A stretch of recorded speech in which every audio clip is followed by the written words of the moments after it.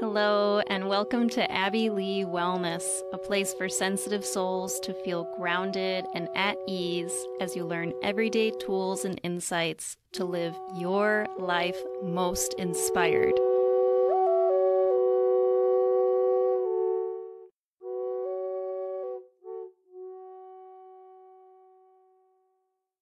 Hello, and welcome to today's very special and important podcast episode about the sudden passing of my life partner, the love of my life, Phillip Rish. And with me is Monica Purdy, whose brother Mike is known as a legend in Denali National Park, Alaska, where he passed away. And I re listened to this podcast episode several times, which has been an unexpected beneficial part of my healing journey to hear myself tell the story. And I also wondered what will people get out of this episode? So, a few months ago, Phil and I connected with a Native American woman who's a part of the Salish tribe. And the Salish tribe is one of many tribes native to these lands for thousands of years to what is now called Montana. And Phil bought an original painting done by this woman, which he gifted to me. And the painting is here on the wall in my kitchen. And it's of a Native American woman on a horse. And she has a stoic look on her face, and she's wearing her buckskin dress, and her hair is in braids. And this woman in this painting, she's called the storyteller. And the artist who painted this, she told us that when the snow is on the ground, or what we call winter, this is called storytelling season. So, this is the time where we gather as community and tell our stories.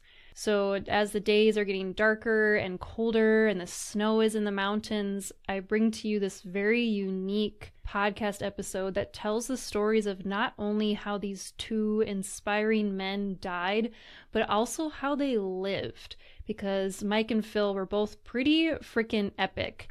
And what you'll get out of these stories is hearing the human experience with life lessons being weaved among the words and my intention with this episode is to be as real and raw and vulnerable as possible as I'm in the absolute thick of this thing called grief. Phil passed away only two and a half months ago. And for those who asked how they can support me at this time, you can stop right now and hit the five star rating to help the podcast continue to grow and you can refer your loved ones to work with me one on one as a life coach, as I love working with people as they pursue their most inspired lives through the beauty and the challenges of this human experience. And when you stay until the end, the last 10 minutes is the most vulnerable I can possibly be. I decided to add a totally spontaneous and unedited song that I sang that I never planned on sharing with anyone. It's just a completely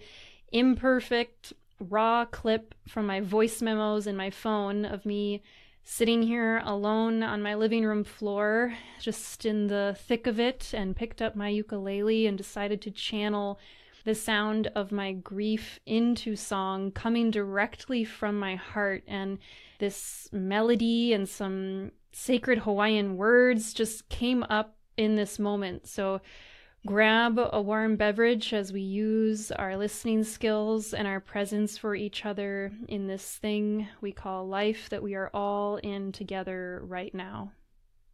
Monica, can you share first how you and I know each other and then just kind of how we met and all that and where you were at in your life at that time and then to go into if you have any intentions for this space today, too.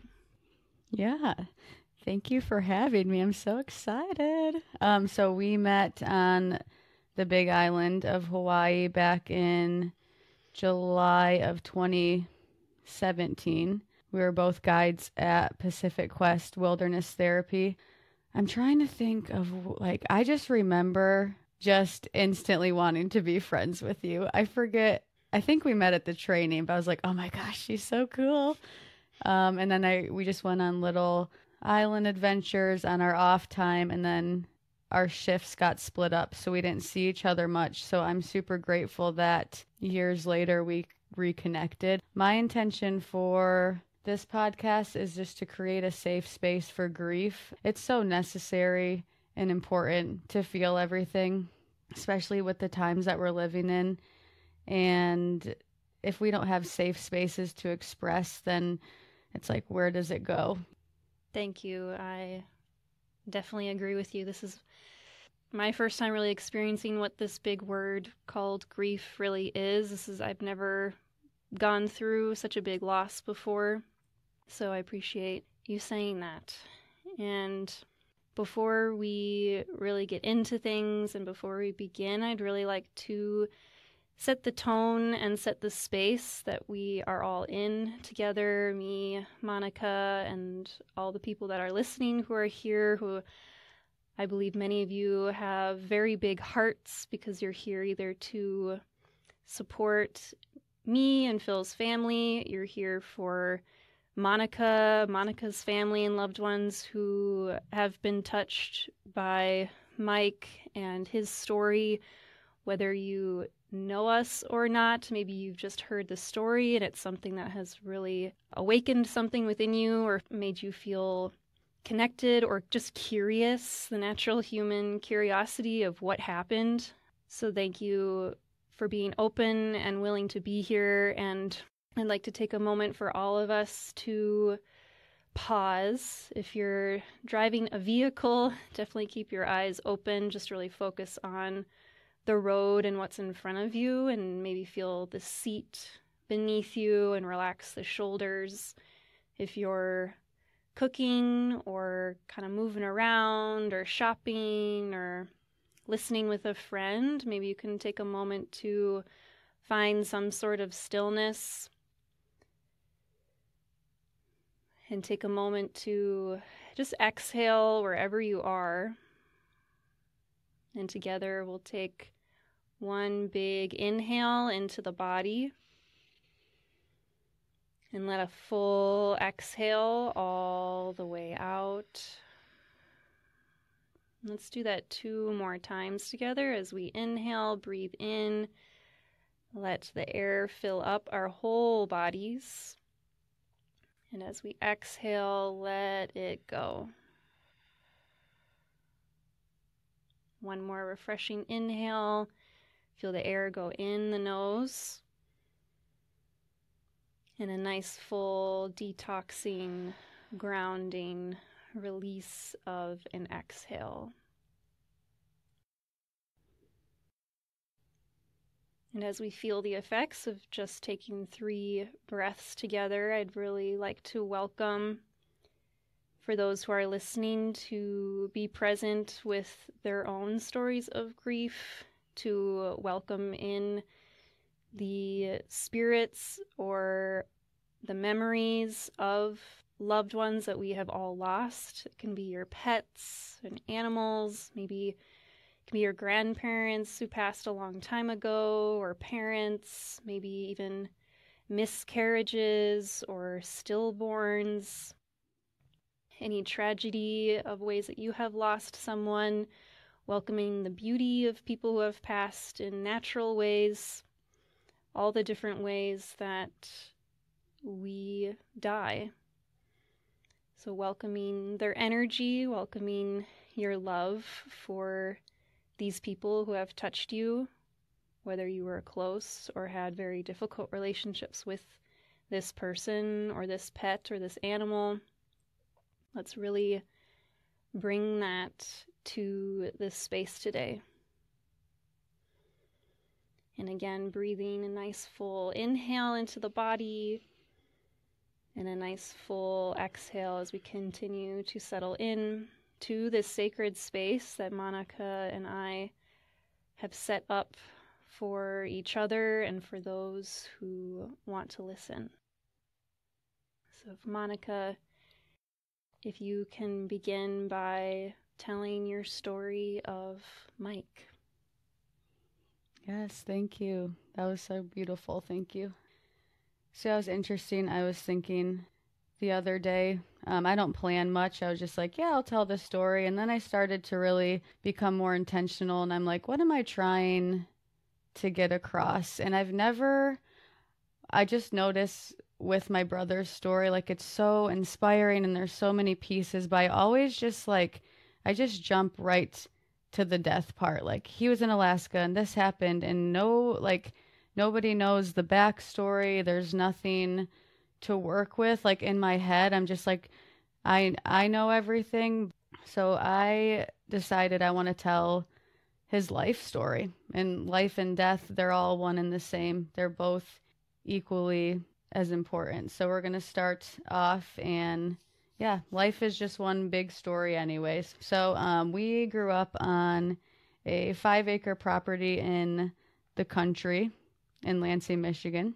My parents are still living at my childhood home, but just to paint a picture, like we had a big barn. Um, we grew up with tree houses and zip lines in the backyard. We were running around with wooden guns and chickens and turkeys roamed the yard, um, playing football and pine cone wars where you literally just chuck pine cones at each other in the yard. We played stealth at night and just like roaming around the dark with flashlights. And I always, I find myself in my adulthood just really thanking my parents for that. And this will, it just makes more sense with Mike's story too. They always nurtured our wild side and our spirit. And so we, Mike and I and my two other older brothers, so I have three brothers total, we would just spend hours outside at a time with an unlimited amount of time for our imaginations, um, playing G.I. Joes and Barbies and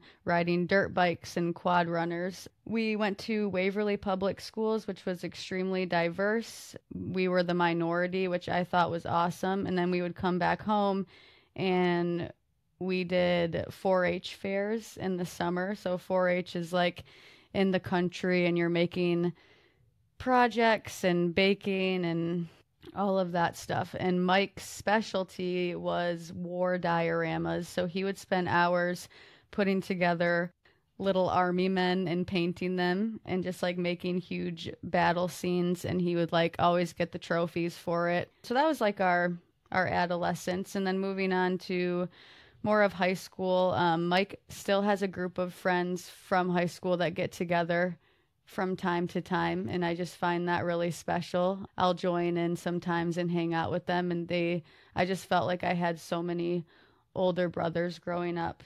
But yeah, in high school, we would have like, I would have my friends over for haunted hay rides, and Mike and his friends would hide in the corn stalks and chase us with chainsaws and it just always comes back. It was just like a very wholesome childhood. Um, Mike was very looked up to and loved in the community, which is why after he passed, somebody, I forget who came up with the term live like Mike, but it was truly his whole life. He was just a natural leader, but he was so warm and comforting. Like there was just no judgment. He just welcomed everybody in. And I just you know, I'd watch people just naturally gravitate towards his energy. Um, he was funny, talented, athletic, handsome. All my friends had crushes on him. He played football, basketball, lacrosse. He was the valedictorian in high school, so he gave the speech, just got really good grades. And I guess a little bit into our relationship, yeah, we were just always buddies. I loved going to high school with him. I felt so cool. We would drive in his really old pickup truck listening to Bob and Tom, which is a radio show in the morning. And he had one of these like microphone boxes in his truck that could make animal noises and like he could talk to people outside of his truck. And so he would just randomly make like chicken noises or just talk. I, okay, this is coming to mind right now. Um, his last day of senior year, I think it was, or senior year for him and his friends. They bought a bunch of ice cream and just drove around the parking lot playing ice cream truck music in his truck and throwing it to people. And I like, I just naturally always felt cool because of my brother. And maybe it was mutual, but we just had this really awesome bond. Except when we were younger, if I ordered chicken tenders at the same restaurant, he'd be pissed um, for a little bit. And we, yeah, just eating cereal at night. If you talk to any of my family members, I don't know why we remember that about him, but he would always just drink out of the milk carton in the fridge without getting a cup, which I do now. I might have gotten that from him. And yeah, there's just, he's just an overall, just really incredible human. And him and I would just speak in different languages. Like we would just walk around the house like, like just, I don't even know. I, it, he's just one of those people that I'm like, oh, you're going to be with me forever. Like you're not, you're not going anywhere. I just looked up to him in so many ways. So that was his high school.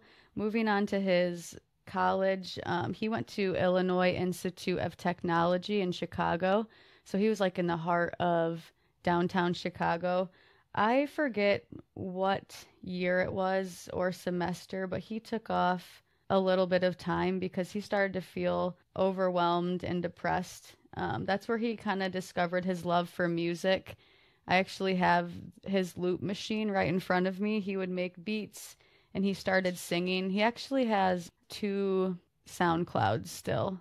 So he just like left all these beautiful things behind. But I think I'm pretty sure he got into music when he was feeling low and down and it kind of maybe helped his spirit lift up.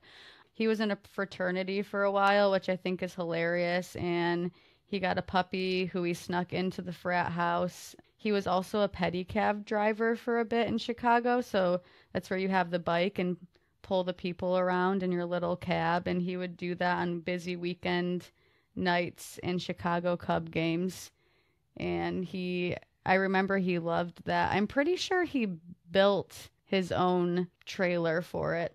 I know that the city life definitely was hard on him just because of how we grew up and I guess growing up too, we would always just pile in the station wagon and go to Tennessee or Kentucky or South Dakota and tent camp. We had wild, adventurous spirits. So I think the city life weighed on him a bit. But he graduated, and then his girlfriend at the time, they took off on a van tour out west and they traveled around to different national parks. And so I actually texted her this morning to get the details. I was like, okay, when did all of this happen? We still keep in touch, which is awesome. So he was looking into going into massage school and she was going to go into chiropractic school. So before that all happened, he went to Alaska in 2015 to be a tour guide for quad runners and um, ATV, an ATV tour guide. There it is. So he did that seasonally in, I want to say it was like April to September in Alaska. And he absolutely fell in love. He loved how wild Alaska was. I mean, again, everybody thought he was the coolest because he was, and but he just wanted to be somewhere where he could be free. And then after that, him and his girlfriend at the time, they moved to Portland, Oregon. So this was in October of or around October of 2015. And so she went into chiropractic school. He was getting ready to go into massage school. I know that a little depression hit. It was like when he was like in the city and back and needing to like get a job, he would just feel kind of low. Um, we all still think this is hilarious, but he was a car salesman for like a month or two in Portland it's just funny. like, but it's also in it's also really awesome because he was just he would just never give up. Like he was just like, okay, what's next? Like on to the next thing, on to the next. And I think then sometime around winter he decided he was going to go back to Alaska and just make it like a seasonal thing. And that this time he drove from Canada to Alaska. But before that, I do want to add in so I so this is 2016 now and this was the last time that I saw him. My boyfriend and I at the time, we went to go visit him and his girlfriend in Portland and we took a coastal trip and it was absolutely incredible. He was kind of our tour guide and so this was in March of 2016 and he yeah, he just took us up and down the coast. We got stoned and ate vo- voodoo donuts. That's like my last thing that I did with him. But I find it really fascinating. I remember going, he dropped us off at the airport in Portland. And I remember looking, he was walking away, and I looked back, and I had this thought that I was never going to see him again. Wow. It was just this quick thought that's like, you're not going to see your brother again. And I felt, was like, what the fuck? Like, I felt kind of crazy. I've just never had gotten that thought. And I just, I just remember staring out of the plane window, looking at Mount Hood, and just kind of feeling a little weird, but also like there's no evidence to back up that that will be the last time. But it was just my gut was just like, that's the last time. And it was. So in April of 2016, he went back out to Alaska, and this time he was going to be a zip line tour guide. And um, again, he just went out. He was just, he just, something about Alaska. I call it his playground. It really is and was, probably still is. And he just, he also took amazing photography. There's just so much to this, to his life, and just very talented in so many ways and incredible. But he was taking photography. I'm pretty sure he had a 1998 Land Rover. It was red. It was freaking awesome. So he drove that thing to Alaska.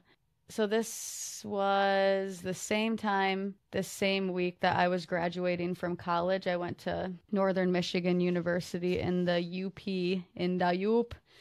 So it's my last week. I'm about to graduate, and Mike was in Alaska. He had just summited a mountain that nobody had ever summited before. And he unofficially, I'm putting up air quotes because he's like everything remains wild and unnamed and untamed, but he officially named it Purdy Peak. And it was quite the trek. And he took a GoPro video and I remember he sent me a selfie at the top and it was just awesome. It was obviously just a very big accomplishment for him. It was pretty gnarly. He like probably didn't have all the right gear, but he just he just did it and he he knew what he was doing. So, yeah, I got that selfie and I was just like, "Oh, that's awesome." And this was probably so April 24th. Um I just had a question to ask him. So he had sent me the selfie. I responded to it. And so I sent him another text.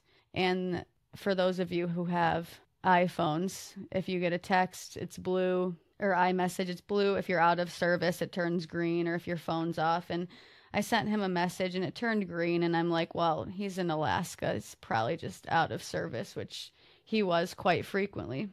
For some reason, though, that Oh, this is no, I'm I was a little bit off on the timeline. This is April 26th and for some reason I sent that text and that night I remember waking up in a dead sleep and I got this very vivid image of him dead, like laying on rocks, dead. And I felt obviously crazy. I was like, what the heck is that all about? again no evidence nothing it had like a text message just didn't send so i was just feeling kind of weird and two days went by and i didn't hear anything from him and so that's when i decided to reach out to his girlfriend and we were kind of the only ones who maybe knew that something was up i mean again he's in alaska so it's very common to just not have service but we were just kind of texting back and forth and she hadn't heard from him either and I think my stomach was kind of starting to drop then. It just felt like, okay, what's going on? And my graduation day came up, and all of my family, it's like a seven hour drive from Lansing to Marquette. So they drove up to my graduation. And I just remember it was such a bizarre feeling. I remember feeling like I was there, but I wasn't. Like I was I was with people I was in crowded spaces and I just couldn't focus. Like something was just so off. And I didn't say anything to anybody because honestly, I just didn't know what to say. I didn't know what to do with that information. I didn't want to start anything. Maybe I was trying to control the situation too at the same time. Like I wanted to have like my full graduation experience. So I'm not sure. exactly what it was. So this is May 1st and again, we haven't heard anything and after my graduation, we went back to the hotel that my family was staying at and I just go I have something that I need to say and I just remember breaking down and they all um when we talk about it now, they they all just kind of had a feeling that it was about Mike and that he was missing. So at this point, it's like, I think he's missing. And yeah, that's when they sent out the search and rescue teams in Denali. So my dad, I forget that it's so blurry. I'm just like, I tell this story so many times and it's so interesting to just tell it each time. It's so, it's the same, but it's different. So I'm trying to kind of tap in and to what it actually felt like to be in that moment. It's just so dysregulating and I felt like I was just floating in and out of my life experience. But my dad or mom, I can't remember the details, but somebody called the search and rescue. And Denali is 6 million acres. I'm pretty sure, don't quote me on it, but I think somebody said it's like the size of Connecticut alone. Like it's a huge, It's massive. huge, Yeah. yeah, huge fucking place. So like the fact that it's just never you never want to hear somebody missing, but like somebody missing in Alaska, you're just like shit. So I think all of us were just not feeling hopeful to be honest. Like it's just it was not a fun feeling. Just I felt like we were kind of in this waiting space and the first evidence that we got we were all still together up north and somebody said one of the search and rescue people said that they found his car in Savage River Loop parking lot. And so if you've ever been to Denali National Park, Abby, I know that you guys went there and hiked Yeah. the trail, but um it's just like a very family friendly Yeah. trail in the park. It's not too far in. And they found his Land Rover and they found that his windows had been cracked open and somebody mentioned like we don't think that's the greatest sign. It doesn't look like he meant to have his windows open. Like he was just kind of going for the day and it was clear that like his car had been there for a few days. So it was just like it was so much suspense and like but you can't really we didn't know like it wasn't official yet. So it was just this very strange and bizarre waiting space. So the next the next day my I have I had a lot of um, friends and support up north and we just decided I was getting ready to move out anyways from graduation. Um, everybody decided to drive back down and I was still up north, but I had so much support. So we're like, if anything happens, I'll obviously just drive down. And I just remember I was supposed to be moving out of my little place that I was renting and I just couldn't leave bed and I was just kind of staring at my phone and just laying there and not feeling much of anything. And my boyfriend at the time, he's like, I'm going to go get us food. I'll be right back. And so I was alone in the house. And that's when I got the call from my mom. And it was like, I had never heard her voice like that. So that alone just gave it away. But she was just like, Who are you with? And I just remember getting up and pacing and just being like, No, no, no. Um, like ah yeah how do you even how do you even deal or just fathom something in the moment that is just so intense then i just started to call all of my friends and um one of my best friends joel i mean he's just like one of those people who will always be there and i just he was the first one to show up. He just came right away. And I just remember I had friends like, I just remember being just like surrounded by so much love. And they were just like holding me. And it was completely silent. And I just couldn't stop crying. And oh, we went to Lake Superior that night and the Northern Lights came out. And it was just so beautiful and so tragic at the same time. And I wrote this down for notes for this podcast actually and it's just like it's such a mix of just like gratitude and grief. Like I'm so grateful. I'm so grateful that I even had that experience with my brother in this lifetime and at the same time I'm just like where the fuck are you it's like both at once I'm just like feeling all of that. And I would say, so that was May 1st. We found out, I, I want to say th- like three days later, 14 of us got on a plane.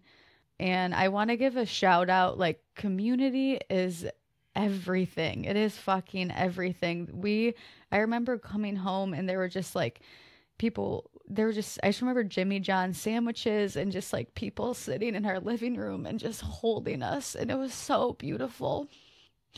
And I feel like I haven't honestly gone back to that feeling in a while, but like I was just, and not just me, you know, our whole family were just completely depleted and at a loss. And then we just have these incredible people just like holding us up and feeding us and just, yeah, just taking care of us. And it's just beyond words. And so somebody, I forget who made it happen, but they got us plane tickets and we brought all of my my nieces and nephews, which honestly was so incredible to have little kids at a time of just deep sorrow. They just like really helped ground us and just like keep us in the moment. We, yeah, we got on a plane and we flew there. And I remember when we first flew there, my mom mentioned that Mike's body was like at, the same airport at the Fairbanks airport at the same time that we were and the funeral home was right across the of the hotel from us. But I guess I want to back it up a little bit because we were super super fortunate to even be able to see him. So I guess I want to back it up and just tell the story of how he passed because it's just so it's so sad and it's so inspiring and incredible at the same time. So he was hiking Savage River Loop Trail, but he went off of the trail. So it's like a it's pretty rocky terrain. It's not the greatest for the footing. And again, I can tell this story and it's probably not exactly what happened, but this is just what we gathered from all of the evidence. So basically, what we were told is that, and from his video footage and GoPro footage, he was walking on the ridge, so maybe like 70 feet above the trail. I'm maybe projecting or making this up, but it literally looked like he was having the best day. He was singing, Carry on, my wayward son. There'll be peace when you are done. Lay your weary head to rest. Don't you cry no more. Like he was literally GoProing a video and singing that. And then he was like, and just, yeah, taking pictures of Dall sheep. Just have, yeah, I'm just going to say it, having the best day. Like I would I would love to join that day. And so, yeah, he took GoPros and pictures, and then he turned his GoPro off. And the search and rescue guy who found him, he was in his 40s. He had dogs with him. They had been told that there were wolverines in the area, bear, uh, just like there were like, you know, animals wild animals, obviously, and nothing touched Mike's body. Nothing touched him at all.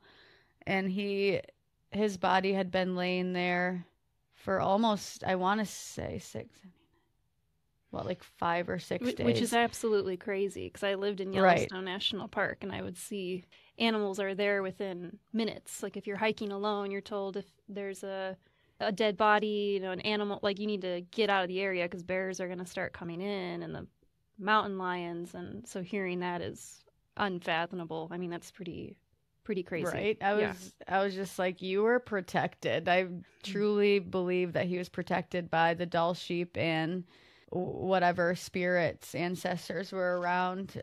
So the guy who found him, he literally just guessed he was walking on the trail and in his mind, he was thinking, what would I have done when I was 24, which was the age that Mike was when he passed. He's like, what would I have done when I was 24? And he just started walking up this cliffside and he found him. I mean, it's so tragic and it's so incredible that he was found. That again, it's six million acres. That could have he could have easily not been found. So there's all these just a peace of mind factors in this whole story too. And yeah, so sure enough, he when he found him, surrounding him was his camera and GoPro, and they checked the footage, and they were like, "Hey, we want to share something with you. We think that he didn't pass away immediately. It might have been a few minutes." And they showed us. There's a picture. It's actually it's on my Instagram, like way back in the archives, and I I did like a blog after he passed away, and I called it the beautiful nightmare. But this picture is it's this beautiful blue sky and there's these twigs and branches coming out and there's blood all over the branches and so what we believe just based on all the evidence is that he was able to take a few more pictures. And he's not in the pictures. I think maybe part of his like a tiny part of his leg was maybe in it. But it just it just like when i saw that i was just like you I just feel like he knew what was going on. Like he how I have no idea and I can't even begin to imagine what that's like, but it just seemed like he knew that he was going to pass. And so yeah, there's just all these beautiful little parts to his story. It's not just like he fell and he died. It's like he was taking pictures, he was connecting with the land he was singing Carry On My Wayward Son, all these things. And so when we got to Alaska, it was truly a gift to see his body. I remember my parents went into the funeral room first and I heard my mom just crash to the ground. It was heartbreaking to hear them.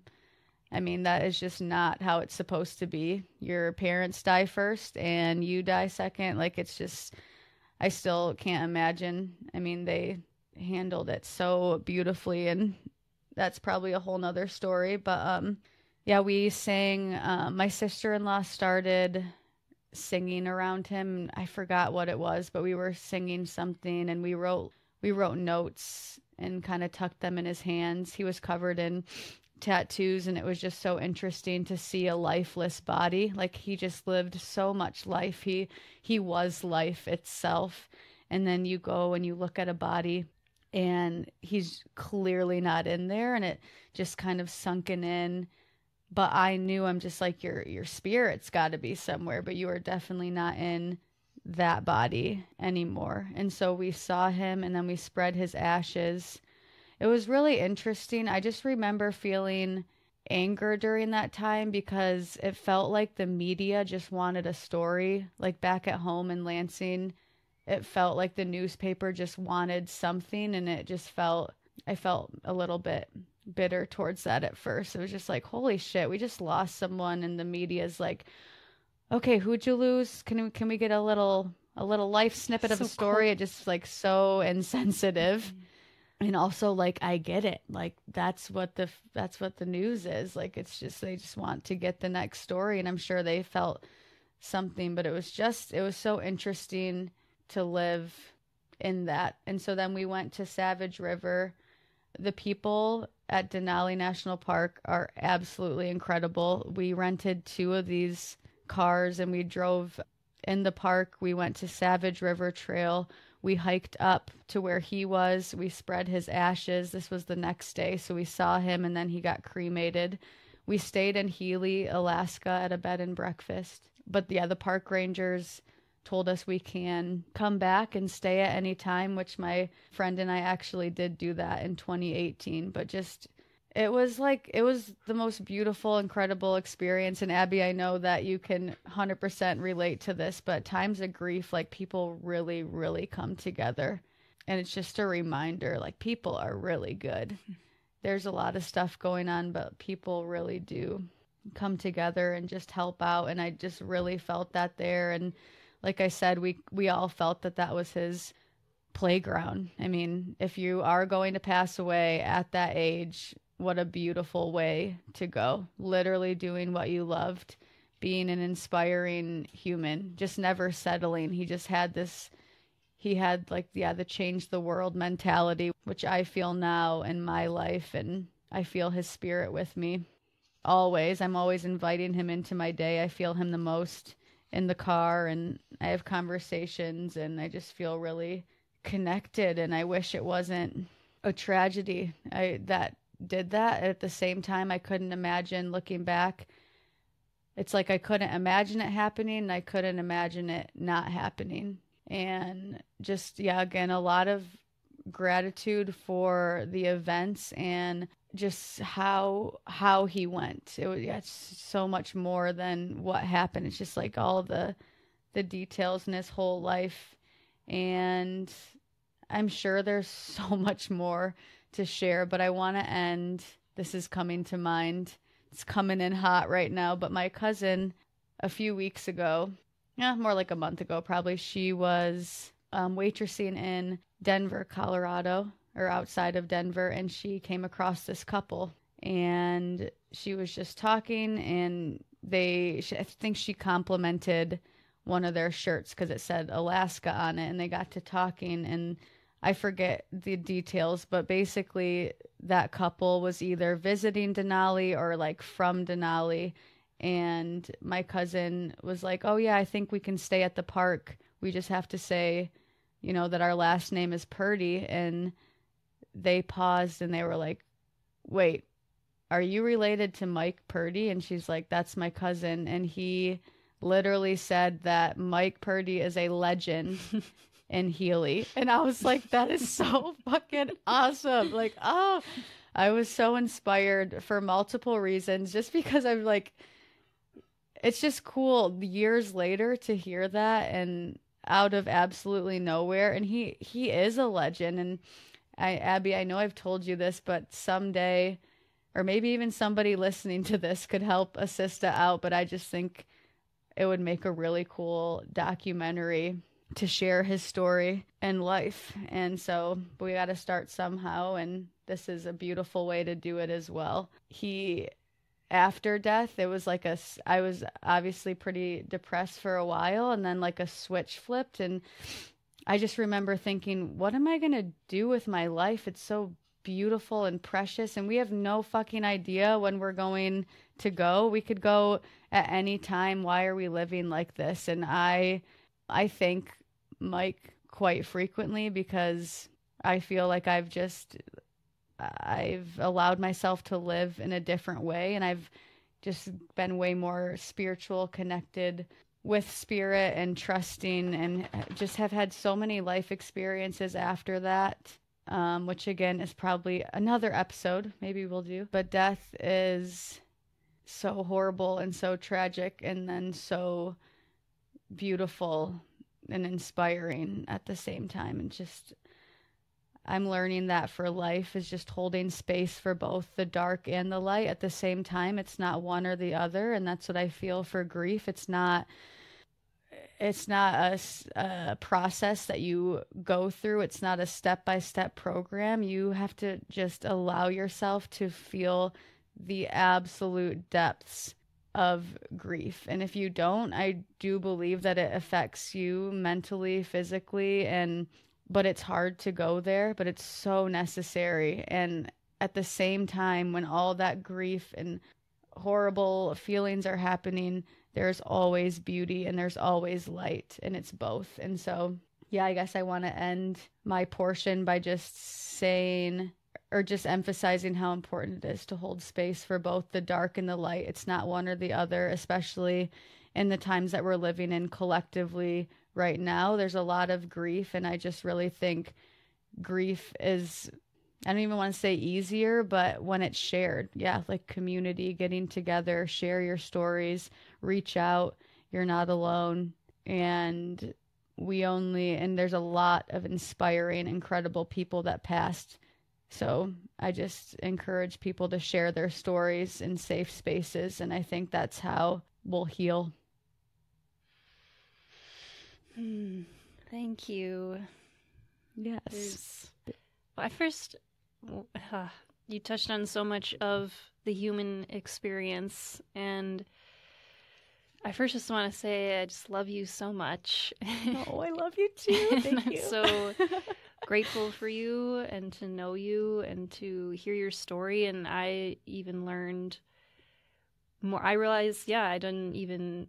I don't even know if you've told me much about Mike's living story. I mean, I've, I've got I get tidbits and stuff, and I knew he was freaking awesome. And I've been on his Instagram, and I, I think he's a really good writer too. I just fell in love with his spirit and the way his traveling around. And yeah, he has a picture on there of him on Purdy Peak that he named unofficially, and painting that picture of your guys' living on the five acre farm in Michigan with the barn and running wild and you with a bunch of the boys and just feeling really cool with the guys and driving around and being silly and goofy. And then to him living the city life. And I found it interesting that you mentioned how he kind of went through a depression or a depressive mood and then how music brought him up or lifted him up or he got in tune with music during that time. And to then going to Alaska in his old car and traveling up there and yeah, really living an inspired life and doing what he wants. And I'm just picturing, yeah, because Phil and I hiked that Sa- Savage Trail. Is that what it's called? Or Savage Trail Loop Trail?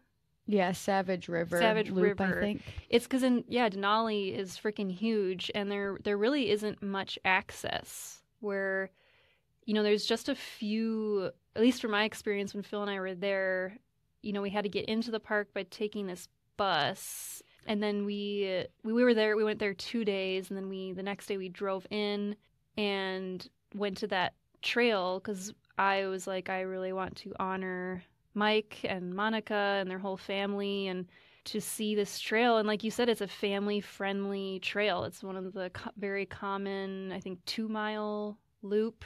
And it's it was gorgeous. We were there in August. We were we were there. We were camping around and traveling around Alaska for a few weeks. And at this point, I think it was August. It was a little rainy. Everything was super green, and we're just walking along the trail. And I remember looking over to my right and wondering if that's where I just picture in my mind looking over to the right and him like yeah scrambling up some rocks or.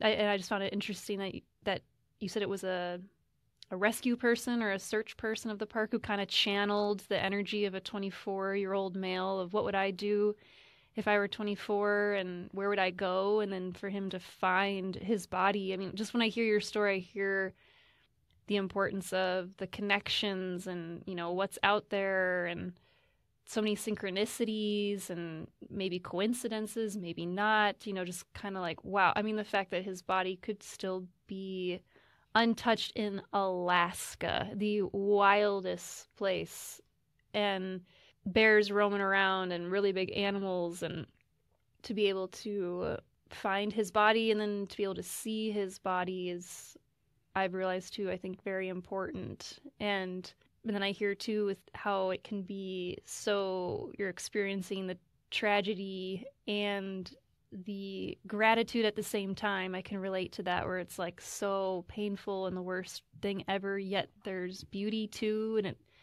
it's a crazy polarity that the heart is being tugged at in both directions. Another thing too i'm thinking of i remember you had said that his funeral if you want to call it i don't know if you call it a funeral or what you guys called it celebration of life or ceremony whatever it was that it was held in your high school auditorium because there were like Oh, 600 yeah, I forgot people. to add that part. Yeah. Yeah, there were 600, like 600 people who came to Waverly High School in the auditorium. And one of my other brothers put together, which I think it's like in the Facebook archives, he put together this really awesome video of his trek up Purdy Peak. So we like watched that. We got to speak. Oh my gosh. Yeah, it was, it was beautiful. It was overwhelming. But also beautiful at the same time. Yeah, thanks for bringing that up. I told yeah, there's so many Right. different parts that I forgot. So thank you. And also, um, when you said you looked up to the right, that's he. That is like correct. If you were Really? walking in, yeah, that's you probably felt. Wow. That's a, yeah. That's exactly what Mhm. I pictured. Just I'm picturing myself on the trail, and I just looked up and to the right. That's interesting. Thank you for reflecting and listening. And It's a yeah. It's a powerful story, and then I appreciate too the spirit of whoever came with up with live like Mike, which to me sounds really like like living your life and doing what you want to do and not settling for the city if you don't like the city and going out and experiencing what you really want and having those beautiful connections along the way. And it sounds like you two were so close and had such a good, beautiful bond. And also hearing it too just validates some, some of your personality traits too, growing up with a bunch of boys and. yeah, yeah, I know. We were like the same. I think, yeah, just um, oh yeah, burping and farting and just climbing up trees.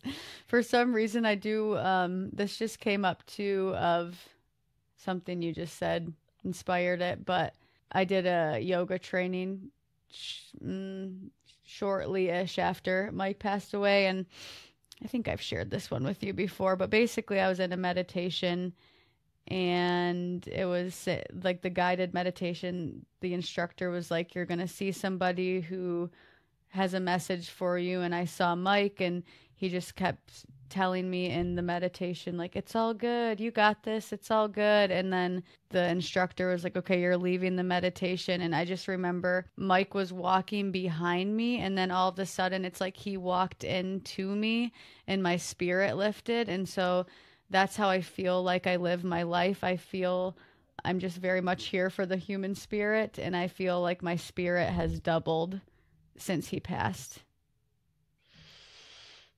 Wow. How how did it feel? What was the experience like when you got the footage of his last moments being recorded with the blood and the him singing and I mean, I just I'm really putting myself in his shoes and your shoes and your family's shoes and I, I just yeah what was that like?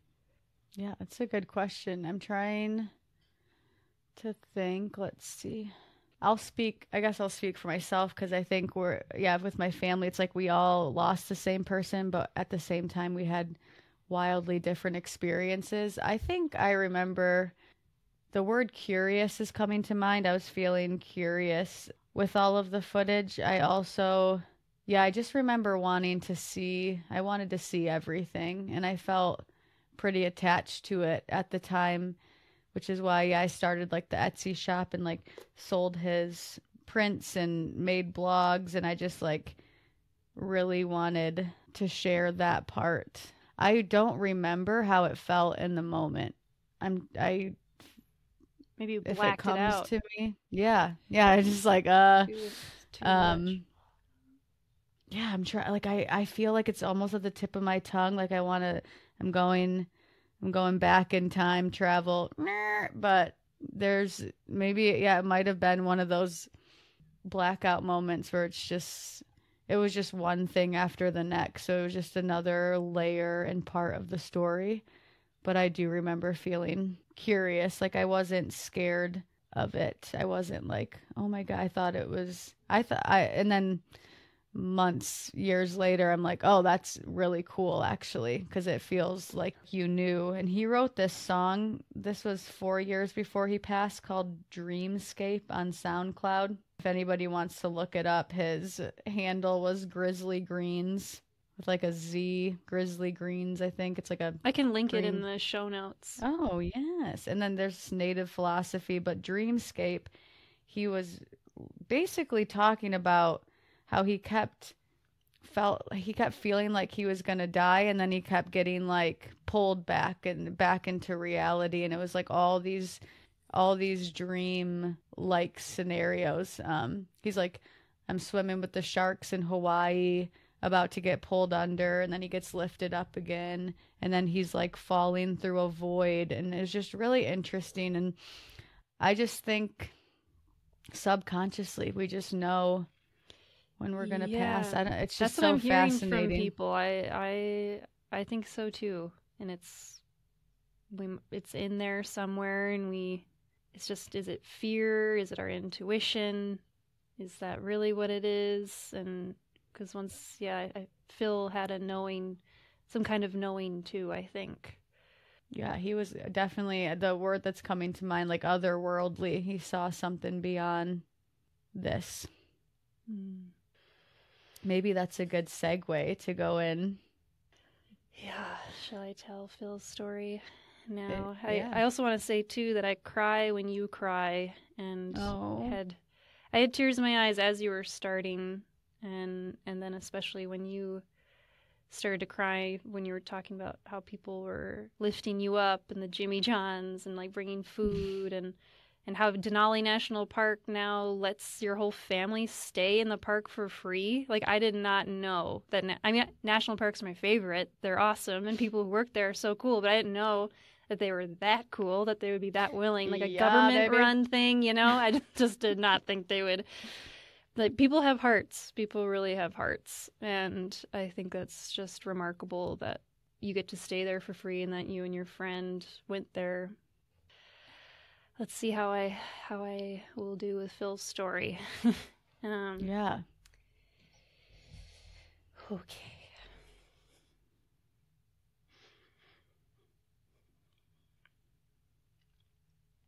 When I tell, Hmm, I have my hand on my heart. Mm. When I tell this story, I just also I really want it to not have it be about me. I mean, partly about me, but I'm also keeping so many other people in my thoughts too. Like if his if his family is even able to listen to this podcast one day, or just anyone that knew him who knew him longer than I did, and so Phil and I were living together the last six years of his life, and I feel inspired by you telling the story, painting that picture of Mike, and 'cause I feel like Mike and Phil were similar in a lot of ways, and with how people were inspired by how they lived. And I know, at least with Phil, he didn't even know how cool he was, and like deep down, I think he did, but he didn't really know how how many people admired him for what he was doing all the time. And yeah, I was so attracted to the fact that he had traveled all over the world and he had lived in Antarctica, worked and lived in Antarctica. I hadn't met anybody else that had done that. And he built sustainable homes and lived in Ecuador and helped this woman set up a whole farm. And he lived and worked and taught in Thailand and spent time in New Zealand and lived in Italy with his Italian family and always living very minimally and helping out wherever he went. Like he, he was kind of the work trade kind of travel. He, he liked that kind of life where you know you stay with a host family and they take care of you and then you just work really hard for them and that was a big part of who Phil was is that he really loved working hard but not too hard where it would take over his life. and really yeah, really had that work life balance and he I feel like uh yeah, I'm kind of I don't even know blah like where where to begin with stuff and what's coming to my mind right now is the the trail. One of the greatest achievements I think Phil did that really touches a lot of people that people are just in such awe by was he because this is this is what brought him to me.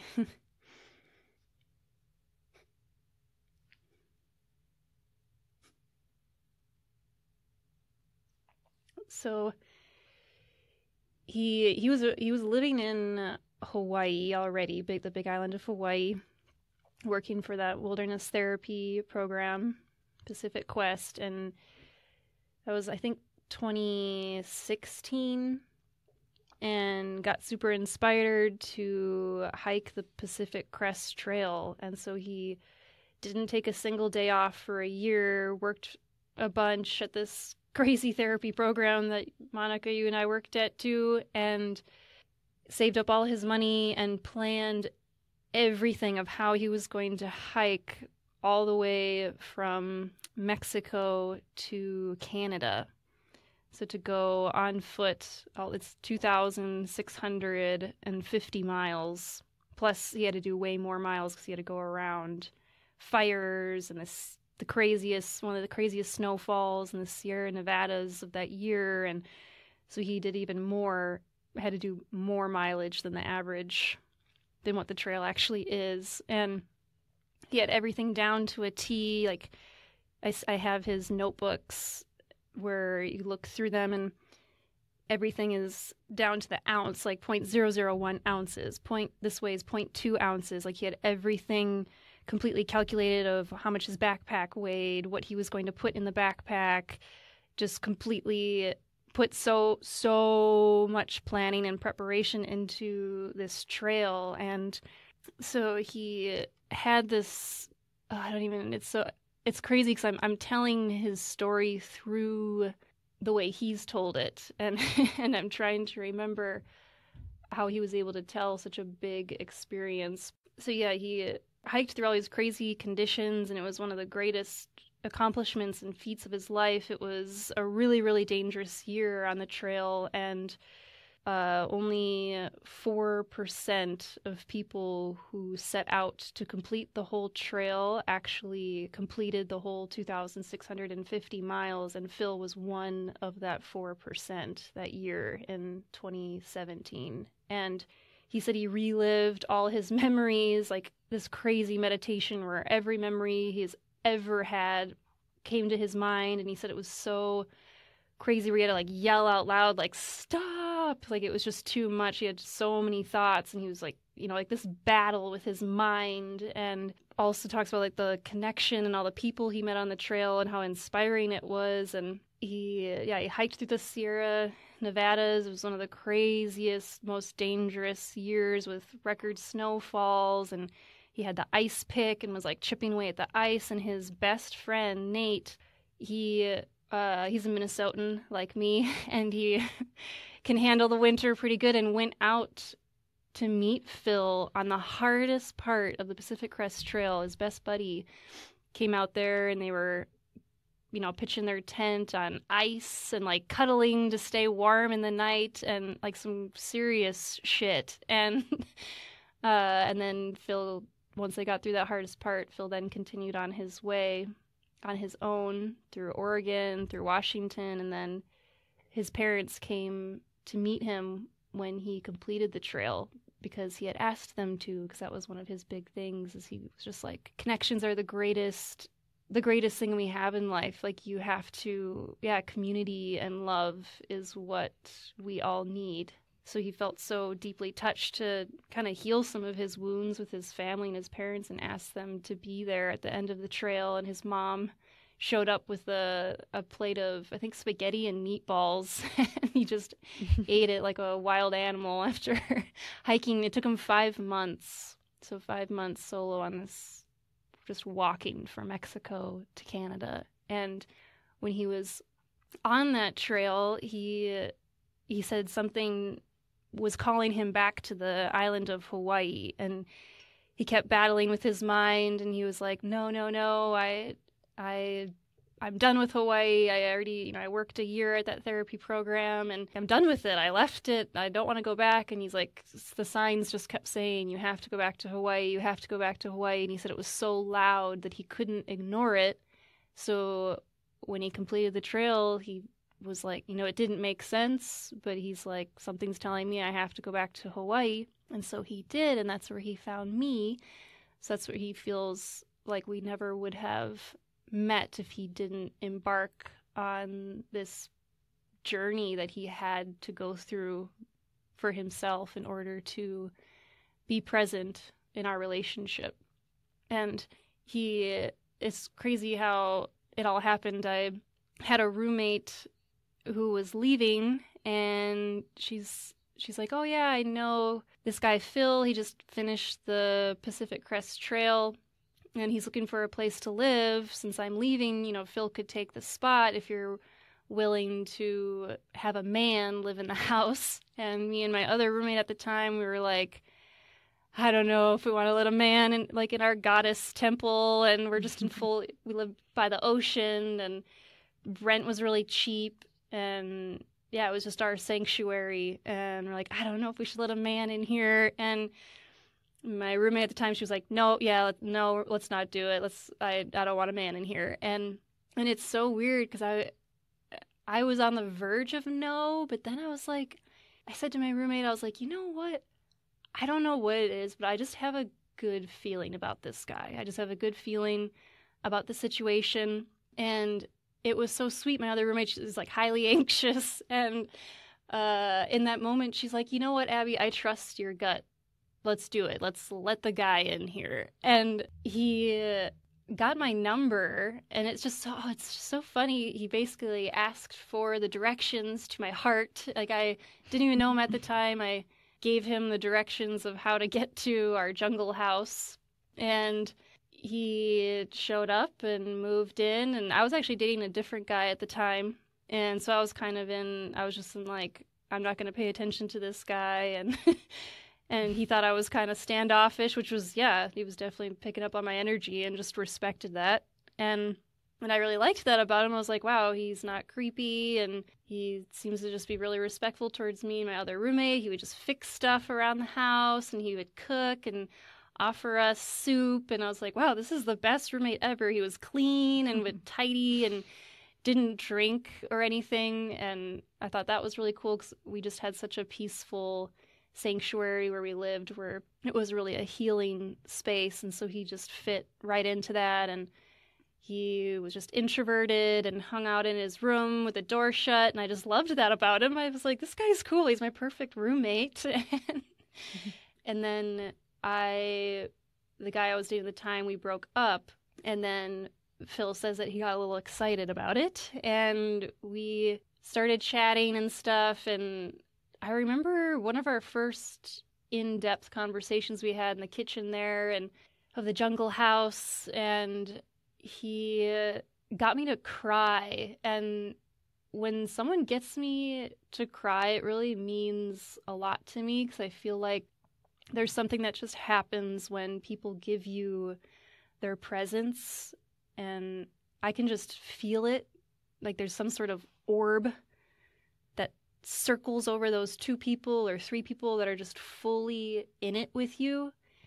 And it's for me, I feel it in my heart and in my chest. I feel this like high vibration of togetherness and connectedness. And so it's if they say one thing or if I don't know, it just makes me cry. I, yeah, I, could, I have safety in the vulnerability, and it just comes out, and that touches my heart because I could tell the same story same vulnerable story to someone else and the tears are not there. It's just kind of like meh. And you know, it could just depend on the situation, the time, it depends on so many things, but these moments of when I am really in it with someone and those tears fall, like you have my heart. And so that happened with Phil and and it was so crazy because I had literally just wrote down a list of five huge goals I wanted to do in the next five years. And I was going like, when I set my mind to something, I just do it. it nothing stops me. And uh, this was right before COVID. So I had wrote, I want to live and work in Antarctica. I want to hike the Pacific Crest Trail. And I even wrote, because I originally thought I would do it solo, but I was like, all right, humble yourself, Abby. I you probably need a companion of some sort. And I even wrote, like, ideally a man who's probably really good at, you know, setting stuff up and fixing things. And uh, that would just be a good balance for me. So, and then I had wrote to run the world's hardest marathon on the Great Wall of China. My dad planted that seed in my head because we both are, he ran a lot of marathons and I trained for marathons too. And then it was, oh, to travel around South America and then the fifth was to become a life coach, to start my own business as a life coach. And I meet Phil, and I had written I had written this list, and I was telling my other roommate some of them, and she was like, "I think Phil has done almost all of those, Abby." And I was like, "What?" that is so random. Are you serious? She's like, "Yeah, I know he definitely lived in Antarctica." And I was like, that's crazy. I don't meet many people, if ever, who even care to go there or want to go there. And then to actually go there and then to learn that he lived there. And then I found out that he had started his own life coaching business, that he was super into nutrition and holistic health. And then I learned that he had spent time in Ecuador setting up this uh, sustainable farm called Eagle Condor Farms. And then I found out he was this really incredible personal trainer. He worked at an elite gym in Denver for many years, worked with athletes and a lot of different types of people. And so I was like, oh, he could help me accomplish the running on the Great Wall of China goal by with his personal personal training stuff. And so it was just it was just really weird. Oh, oh, and I and then I had written too that I need to date a guy at least 15 years older than me. That was like my my biggest thing that I had written down from my last relationship because my the last guy I dated, I feel like I can't I actually can't remember right now. If I feel like he was the exact same age maybe or maybe a year older or a year younger. I can't remember right now. But I remember I had talked to my dad and he had said the same thing. He's like, "Yep, you got to do you just you got to do 15 years older minimum, minimum." And I was like, "Okay." and then I find out Phil is 14 years older than me. And so it was just super weird. It was these very odd coincidences and then I had him take a personality test because I was I was looking at uh I had always wanted to date a guy. I don't know if you're familiar with the Myers Briggs personality test. I used to be obsessed with it. I used to teach workshops on it and stuff, and um, do groups, and yeah, I was really into it. And I try I try to not categorize people into these boxes too much, but it's it's pretty cool. And so I always thought that I the letters, uh, there's a four letter acronym, INFJ. It's the rarest type, which is what I am now. At the time, I wasn't that. But I was like, oh, my perfect match would be an INFJ man. I'd always been looking for an INFJ man. And then so I just, well, I was starting to get interested in Phil. And so I just casually had him take this Myers Briggs personality test. And then, and he didn't know anything about it. And I saw him, I was sitting with him on the the Hawaiian word lanai or the the porch there, and he was on his computer taking the test, and I saw him then looking at the screen. I could tell he had completed it, and I was like, "Oh, what'd you get?" and he's like, "Uh, I N F J," and I was like, "No way!" And my soulmate. Yeah, and uh, Phil helped me realize that I'm a very calculated person, and so I was just like, "Oh my god, it's meant to be," and and then we just yeah started connecting and talking about our, all of my favorite books and because i read so much on philosophy and psychology and i really like philosophical fiction. And phil had read all the same books too all of my top favorite books. I was like no way this is crazy. And and yeah then we just started dating in the beautiful honeymoon of hawaii. And we were working together at the therapy program too which just gets you in it right away. You know, it's an extremely vulnerable environment that wilderness therapy program where you're working with students who who are suicidal, anxiety, depression, drug addiction, difficult behaviors that they're dysregulated and so it, when you work with people in that kind of environment, you just get to know each other really well and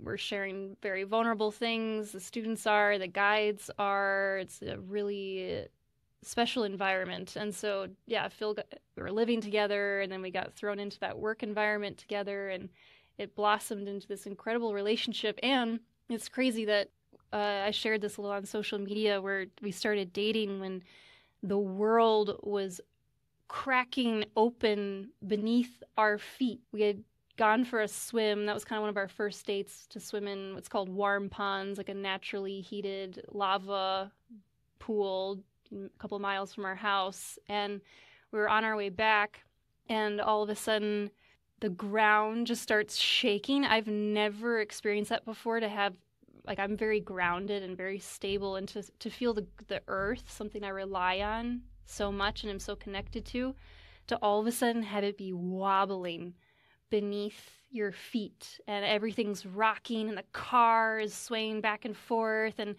someone drives by and goes, Get out of here, run! And we look over to our left, and the earth just just splits open, and poof, the lava spews up into the air. We're just like, Holy shit! And what does Phil do? He's like, Let's go towards it. And I'm like, Oh my god, are you kidding me? And so we we're just like driving around watching fire shoot out of the ground right in front of us and watching new life be formed. I, be formed. I realize I've never watched Earth being made. You know, like this is the newest Earth that we are seeing in this moment. We're seeing that's how it that's how the land starts. We get the lava spews and then it hardens and there's the earth.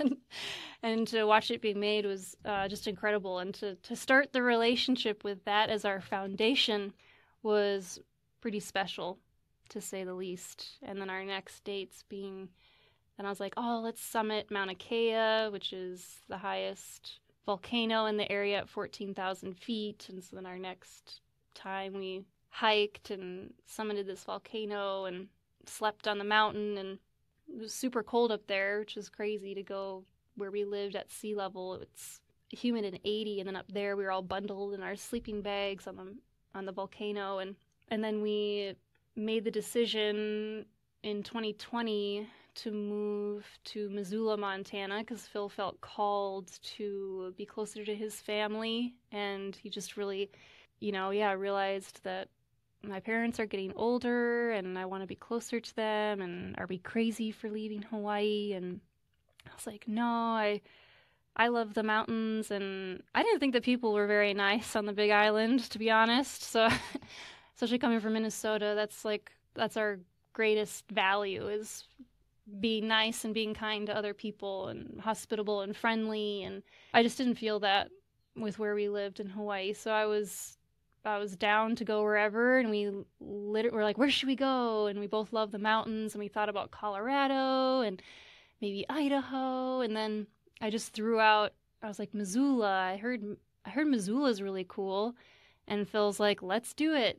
And in the middle of COVID, we just left everything. I'd sold our stuff, our cars, and gave away a lot of free shit. I love giving away shit for free on Facebook Marketplace. It's so easy and freeing. And yeah, just left whatever and flew to the mainland and flew into Minnesota where my family is. And my grandpa gave me an old, I think it was 1991 Honda Civic. And we drove it all the way out to Montana. Camp. We made it into a month long trip of camping along the way through North Dakota and all the way through South Dakota and then all the different parts of Montana. And then we finally made it on July 3rd, 2020, into Missoula and uh, moved into this tiny home, this 350 square foot tiny home. We we did really well in small spaces together, even and even in COVID. And he worked some odd jobs here in Montana. And in his last several months of his life, he worked at a place called the Arc, Montana.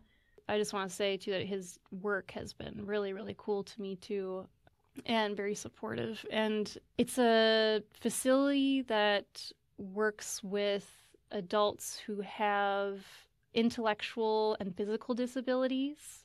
And a lot of these clients, these humans that live in these homes, they had been taken out of the institutions, like straight out of those black and white horror freaking movies of hospitals where people are like in their own feces and just treated horribly. And then luckily the country is trying to move away from that model and they're now moving people in these situations into homes like an actual home with bedroom and a bathroom and you feel like you're living in a home and not in a a hospital, more treated like a human. And so Phil was really finding purpose in that. And he was the facilities manager where he'd go around and fix stuff and really, really, really loved connecting with the clients. He just said they were so sweet and really liked that kind of work. And it was the first time in our whole relationship where I had asked him, How's work going? And he's like, Really good. Because he had had several different jobs. He was definitely figuring out this phase of his life because he was 45 when he passed. I met him when he was 39. And, you know, just kind of, yeah, figuring out what his 40s were. And all of a sudden, this last job, he's like, I really like it. And, you know, it's going really well. And I get to go into work and have something I need to do and I get to complete the task and help make people feel better. And I find it interesting, Monica, of how you said that people maybe know when they're going to pass. And it's so Phil and I went on this epic trip to Peru and you know I went down there for an ayahuasca plant medicine retreat. I went down down by myself and then and I was totally off the grid in the jungle for 2 weeks and then I asked Phil to come meet me down in Peru after I had completed this really intense heart-opening beautiful plant medicine ceremony. And he came down there and we met in Cusco at a, a city in Peru that's at I want to say 12,000 I think it's 12,000 feet. And you know we hiked for 5 days through the Andes reaching a 15,000 foot pass and then hiked all the way down. We descended for thousands and thousands of feet until Machu Picchu's at about 6,000 feet. And we spent the day in Machu Picchu and we were camping along the way too. And we had hired a guide and they were cooking like uh, incredible meals. And it was just this really really beautiful journey. And I intentionally did that so that I could help process my plant medicine experience while still hiking through those lands and connecting with the land and reflecting on my retreat and sharing it with Phil and, and he was just there. Phil always said he was my my Sherpa. If it, people know what a Sherpa is, it's those little guys in the Himalayas that carry all your shit and just and just are behind you silently, like do do do, or maybe way ahead of you, but they're they're guiding you and they're carrying all your all your stuff for you so that you can enjoy the journey.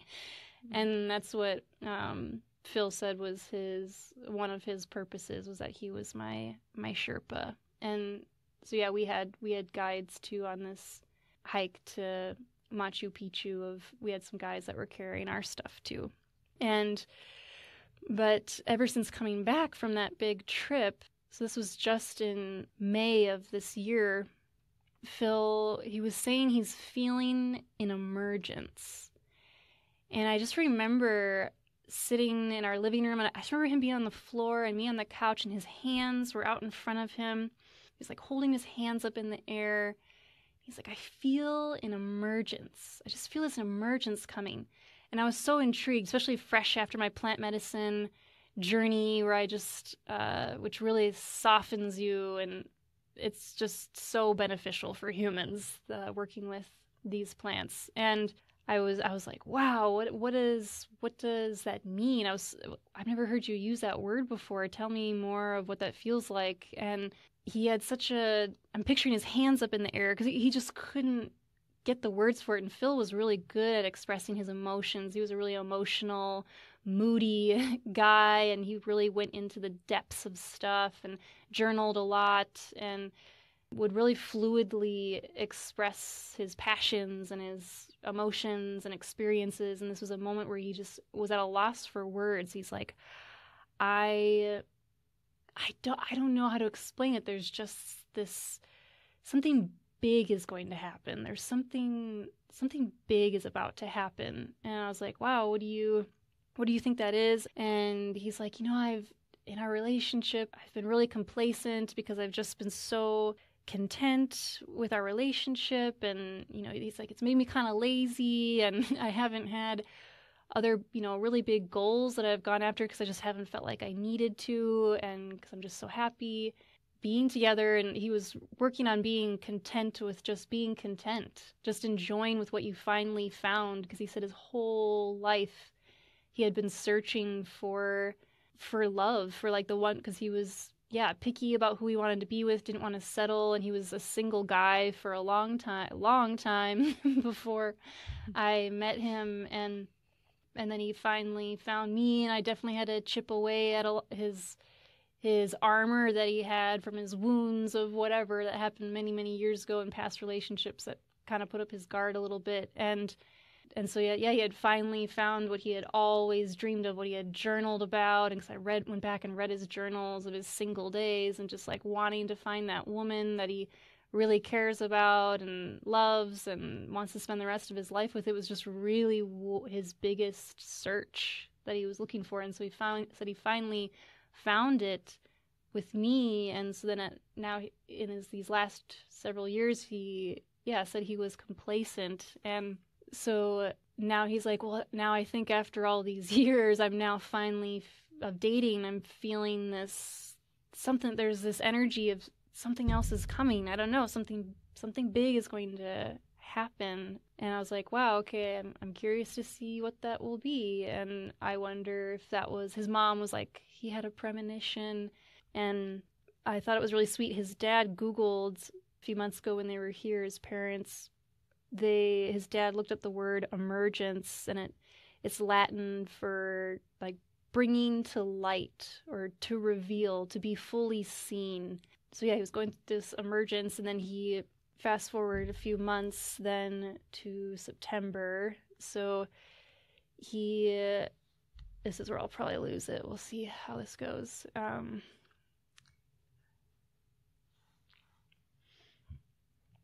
So it was on September 13th, and I was actually reflecting. I remember that morning I posted on Instagram.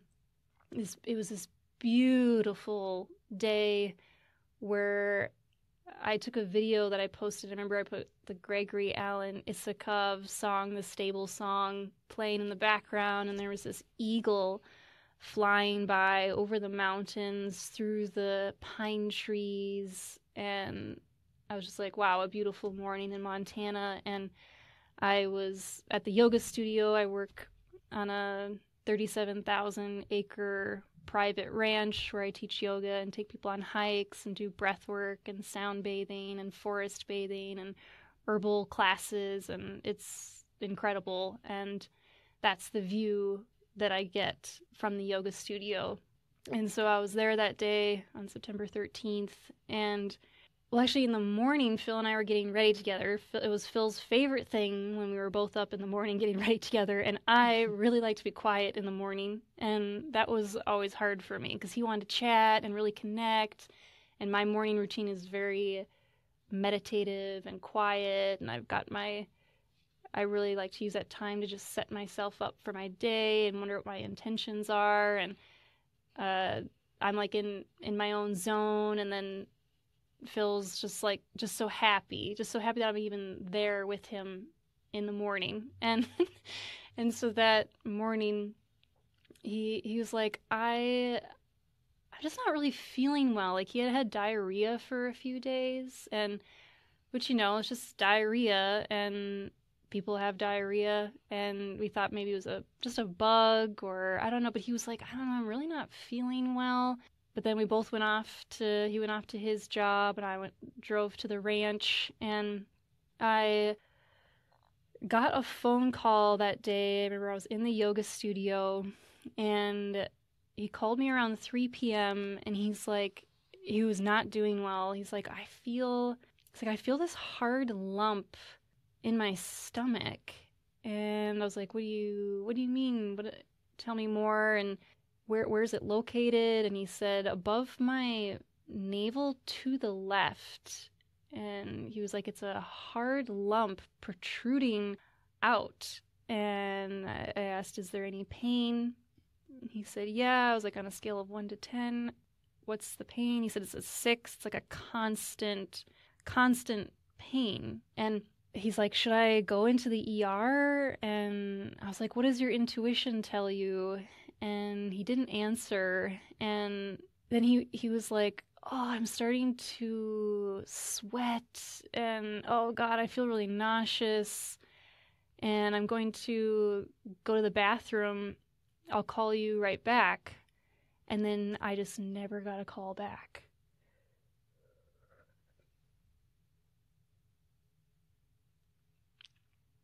And phil's really bad at his phone, which I loved about him because he didn't even get a smartphone until this last year, and the only reason why he got it was because his job said he had to, and so he didn't even. The age of forty-five, he just had like old flip phones, and so I'm used to him. You know, he doesn't always answer his phone or get back to people right away.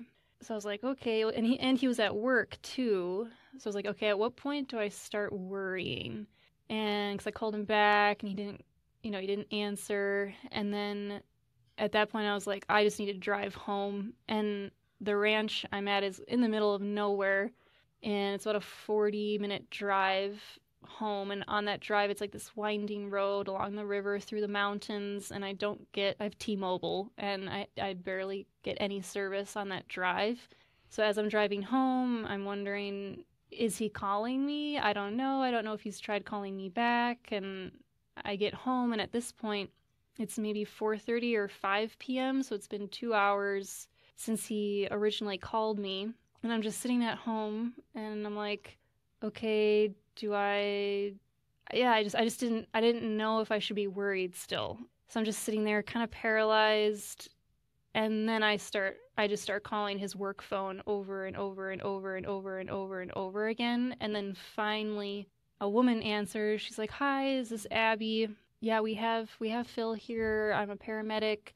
He was in an accident and so Phil had seizure disorder, which so he all of a sudden I want to say age 30, it could have been maybe 28 or 29.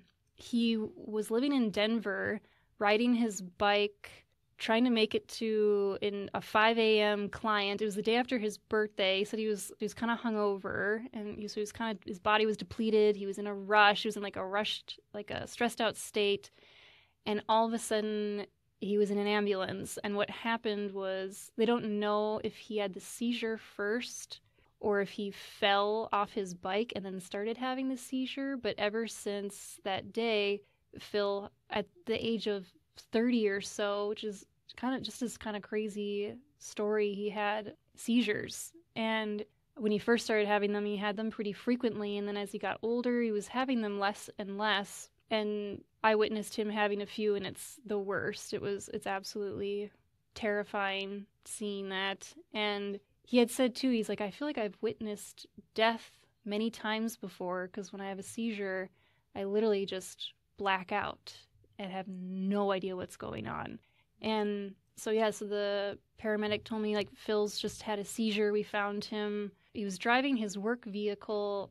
I think he was so he was yeah, he was trying to drive himself into the ER because when he was on the phone he was asking me should I go to the ER and so I'm pretty sure that he was leaving work to drive into the ER and luckily he was just on a neighborhood road going 10 miles per hour and had the seizure and hit a fence and I think it was two people in the neighborhood saw and called 911. They got there within one minute of the call, and then they took him in the ambulance. Then they brought him into the hospital. And at that point, too, I'm like, okay, well, you know, Phil has seizures and he doesn't need to be brought into the ER. And because when you have a seizure, you have it and then you recover. And Phil, he had told me that, you know, I don't need to go to the ER when I have a seizure. And I was just wanting to be a good advocate. So I was like, okay, is it necessary that he's at the ER? And paramedics like, yeah, he's really out of it. And I was like, okay, that's normal after a seizure. He, I mean, it's crazy. After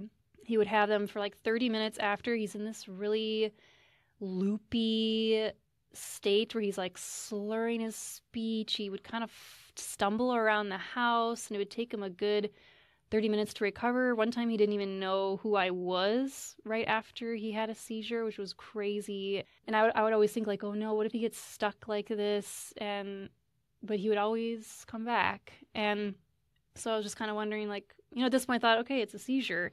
And you know, we've we've gone through this before and they just told me, yeah, we need to bring him in and you can come in to see him at the hospital here.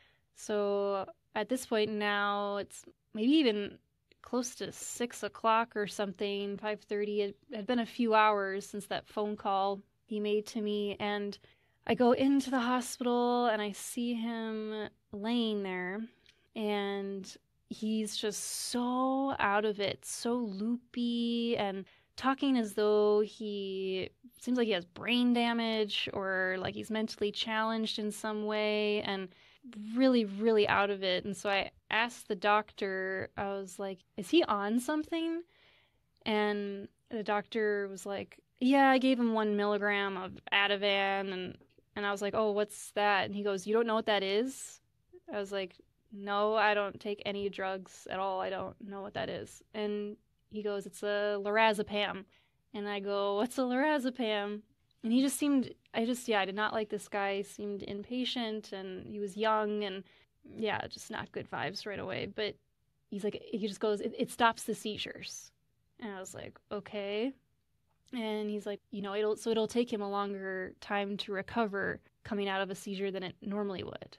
And I was like, okay. So I'm standing next to Phil. He's just like so loopy and his eyes are kind of rolling around. And he then looks at me and he, so he's with his right hand, he touches his left arm and he goes in a really slow, slurred speech. He goes, Whose hand is this? And that's when I was really alarmed because Phil was left handed. That was his dominant hand. And he's asking me, he thought that his left arm was somebody else's arm on his body. And I was like, That's your arm, babe. And he goes, just kept saying, Whose hand is this? Whose hand is this? And so I look at the doctor and I'm like, He can't feel his arm. And the doctor goes, Oh, yes, hemi, or the term's like hemi, H E M I, hemi paralysis is normal after a seizure. And I go, Phil's had seizures for over 15 years and he's never been paralyzed by a seizure. And the doctor's like, yeah, you know, it's normal and it'll just take longer because that one milligram that he had. And I'm like, okay. And then they decide they're going to do a CT scan. So they do the CT scan and they say it takes 45 minutes for the results. And then I'm just standing there in the hospital by myself. And so then 45 minutes go by. So now it's been three and a half hours at least since the incident occurred. And now looking back, it's like once we found out what it was, time is of the essence with this. And they all of a sudden they got the results back. It's like six or six fifteen, six thirty at this point, and that's when everything got super real. And all the doctors are coming in there and they're looking at me and they go, Phil has a blood clot in the right part of his brain. It was along the artery. I think it's called like MCA artery or something. And they're like, this is a really, really big deal. We're going to need to perform a procedure. Like, and they just were looking at me like, this is a this is a really big deal. You need to realize this is a really big deal. And I was like, okay. And I was just still, I don't know, like, there's no point in getting crazy or worried on until you really know and the doctors are like wow you're so calm. And it's like yeah i don't know. And and and this specialist comes in and he's like we're going to need to administer a blood clot buster. It's a three letter acronym. I think it was like tmk or tkm or tkc or something this blood clot buster medication. And they're all looking at me and they say we're we need you to consent to this medication because there's a 5% risk that it will send too much blood to the brain and cause a hemorrhagic stroke. So at this point, Phil had had a what's called an ischemic stroke, and so he had the stroke and the seizures due to the blood clot or something like that. And so they're like, yeah, we need to administer this medication and you have to approve of it. And I was like, whoa, 5%. I was like, that's a,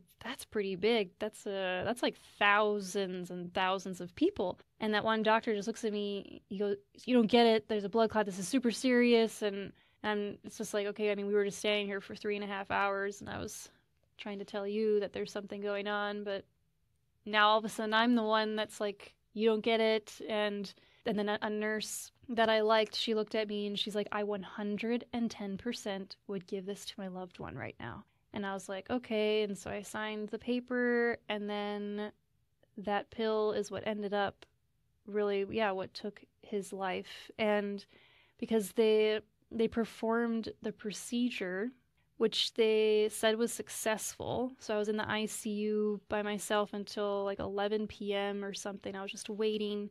They did the procedure. They told me it was successful, but a different doctor that I liked, he was talking with me and he's like, "You need to start preparing yourself for the long haul."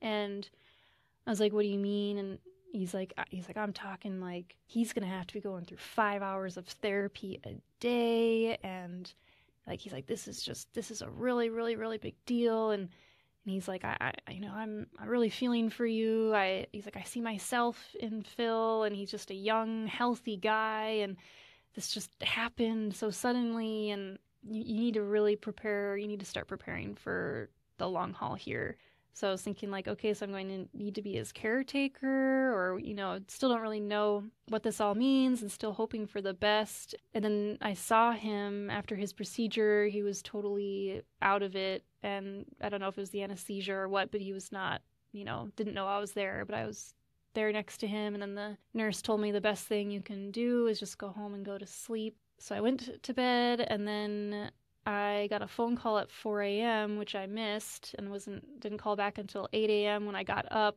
And the voicemail was just a doctor saying, "Hi, this is Doctor So and So. Call us back." So I didn't know what was going on, and it took me forever to get through to a doctor. First of all, so I'm just like paralyzed in my living room, sitting there like, "What do I do? Do I go in? Do I call?" Do I wait for? They said they would call me back in 15 minutes, and they didn't call back for over an hour and a half I'm just sitting there, and then I get this doctor that was horrible, and he he just was talking really slow, and he's like, "Hi, so are you his wife?" And so I'm already thinking in my head, like, "What the fuck? You know what? What's what?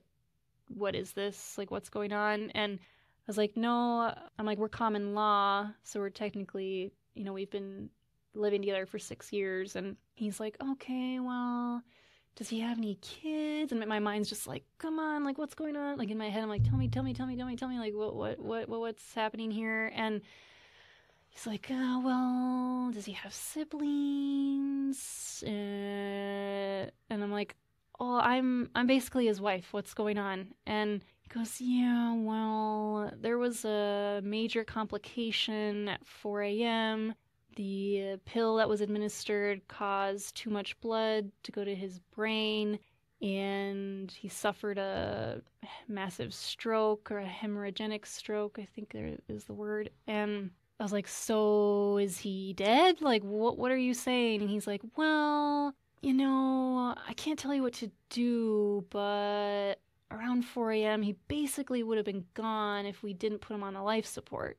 So I was like, okay. So I, I still didn't really get it. Is he dead or alive? Is there hope? Is there not? And I'm like, so what do I do? What are you saying I need to do? And he's like, well, you know, when you get here, I think you'll know what to do, but you bear the burden on if you pull the plug or not. And then that's when I got off the phone and I just like dropped to my knees and just screamed and I was like on the floor. And I pulled out my phone and I was just like, I just remember like looking down, like my finger was just like viciously tapping at my phone to call his mom. And I call his mom, she doesn't answer. And I'm like, okay, oh, who do I call next? Who do I call next? I call his sister Allison. And I, and I, that was the first time in my life I've hyperventilated. I've never hyperventilated before. And she answers, and I just like how do you even relay that information and i'm just like like just like and she's on the other end probably like what the hell is going on and i conveyed some kind of message of whatever the doctor just told me and then phil's mom calls me back and she was at church actually and i it's interesting that you your mom said to you, Monica, who are you with right now? Because the first thing I said to his mom when she answered, I go, Where are you? Where are you right now? Because I wanted to make sure she was safe if she was going to like fall over to tell mm-hmm. Phil's mom.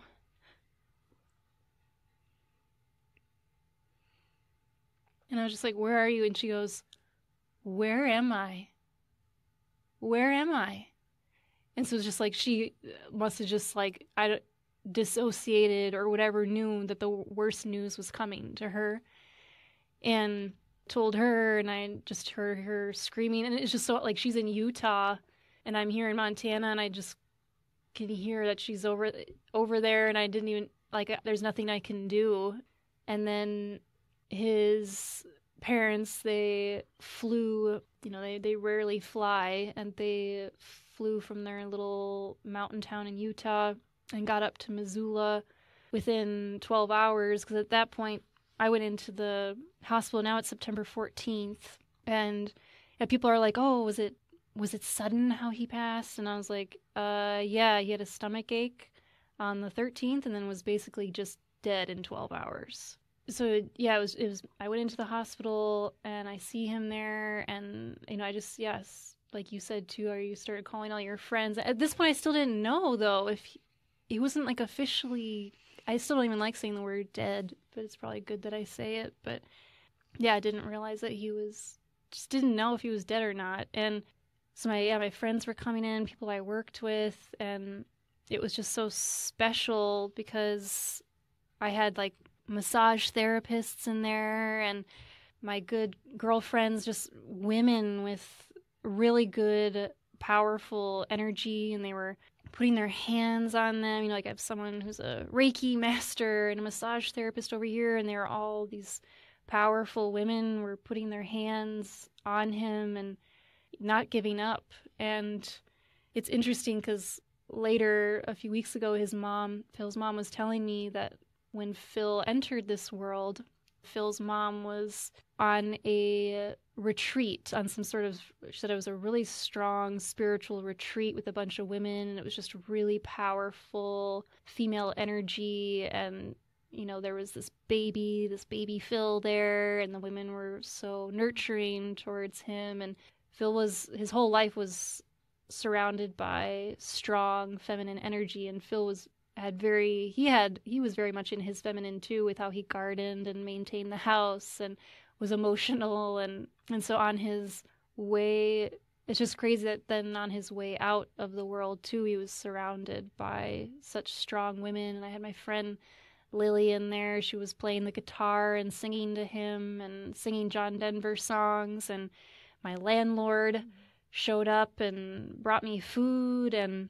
and yeah people didn't want to people wanted to make sure I wasn't going to be alone in the hospital and so different people were just coming in. And then my the place where I teach yoga they just pulled $100 out of their safe and handed it to a massage therapist that works there. And she drove to my house and I conveniently left the door open during which I never do during just the chaos. And so the door was unlocked and they used that $100 and just bought groceries for me and just filled up my fridge. So without me there, later when I came home, my fridge was full of good food. And yeah, people were just really there for me in ways that I feel like I have not supported others in. I mean, just this whole experience, I'm like, oh my gosh, I just hope one day I can give back to people in the way that I've been able to receive in these last two and a half months. And so we're we're all just over Phil and seeing him and he's on life support and and then I started calling his family members one by one and to tell them basically to like say goodbye or to to say whatever they wanted to say to Phil. So I was calling like his cousin and his siblings and one of our friends from Hawaii, and I just held up the phone to Phil's ear and had them say whatever they needed to say. It, it, was just crazy being that person in that role all of a sudden. Like, I'm the one to facilitate this right now. Like, that's like, I'm the adult. I'm the one that all of a sudden just has to learn how to do this. And luckily, I read this book that really impacted my life, the Tibetan Book of Living and Dying. I read that in 2020, right when COVID hit. And um, when the library just let you keep your books for however long you wanted, it was awesome. They weren't doing any uh, fees during, at least in Hawaii, during um, COVID. And so I rented out so many books. And this Tibetan book of living and dying really, really changed my perspective on how we treat the dying in the US, especially, of just how we leave them to die and we, yeah, they're in the hospital and they're hooked up to all these things and just how it lacks the spiritual and the comfort and the love a lot of the time. And something I had read in that book was just how how sacred it is when someone dies and how when someone dies you need to put aside all of your bullshit and be 100% present for this person's transition. And so that really stuck with me where I was like I and and I had called you Monica before I went into the hospital to see him after getting that call from that doctor and you had said to me just be present.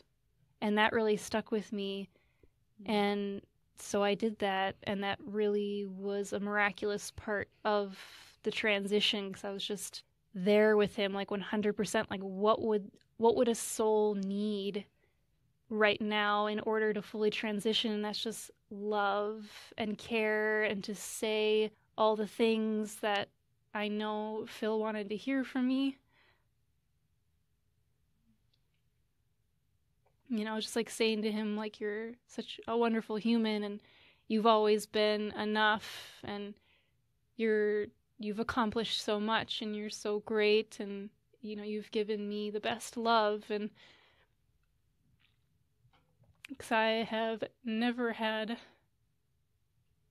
I've never had someone love me as much as Phil has loved me and that includes the love I feel or don't feel from my own parents and Phil has um I mean he was just he, to me he was the epitome of what true love is to fully to fully love someone for who they are. And i struggled giving that back. Like you know i get i would get annoyed with shit that he would do around the house or just you know little traits here and there frustrations. And he definitely had those towards me too. And we were in a very conscious partnership where we would talk about those things and work on them together to be the best that we wanted to be for ourselves and others because neither of us were willing to settle for a shitty relationship. and we'd always said like, "Oh my gosh, the relationship just gets better and better." And even 6 years later feels like I feel like I'm still learning new things. Like I feel like it's just beginning. And so yeah, I just I hope that the world gets to have someone love them in that way.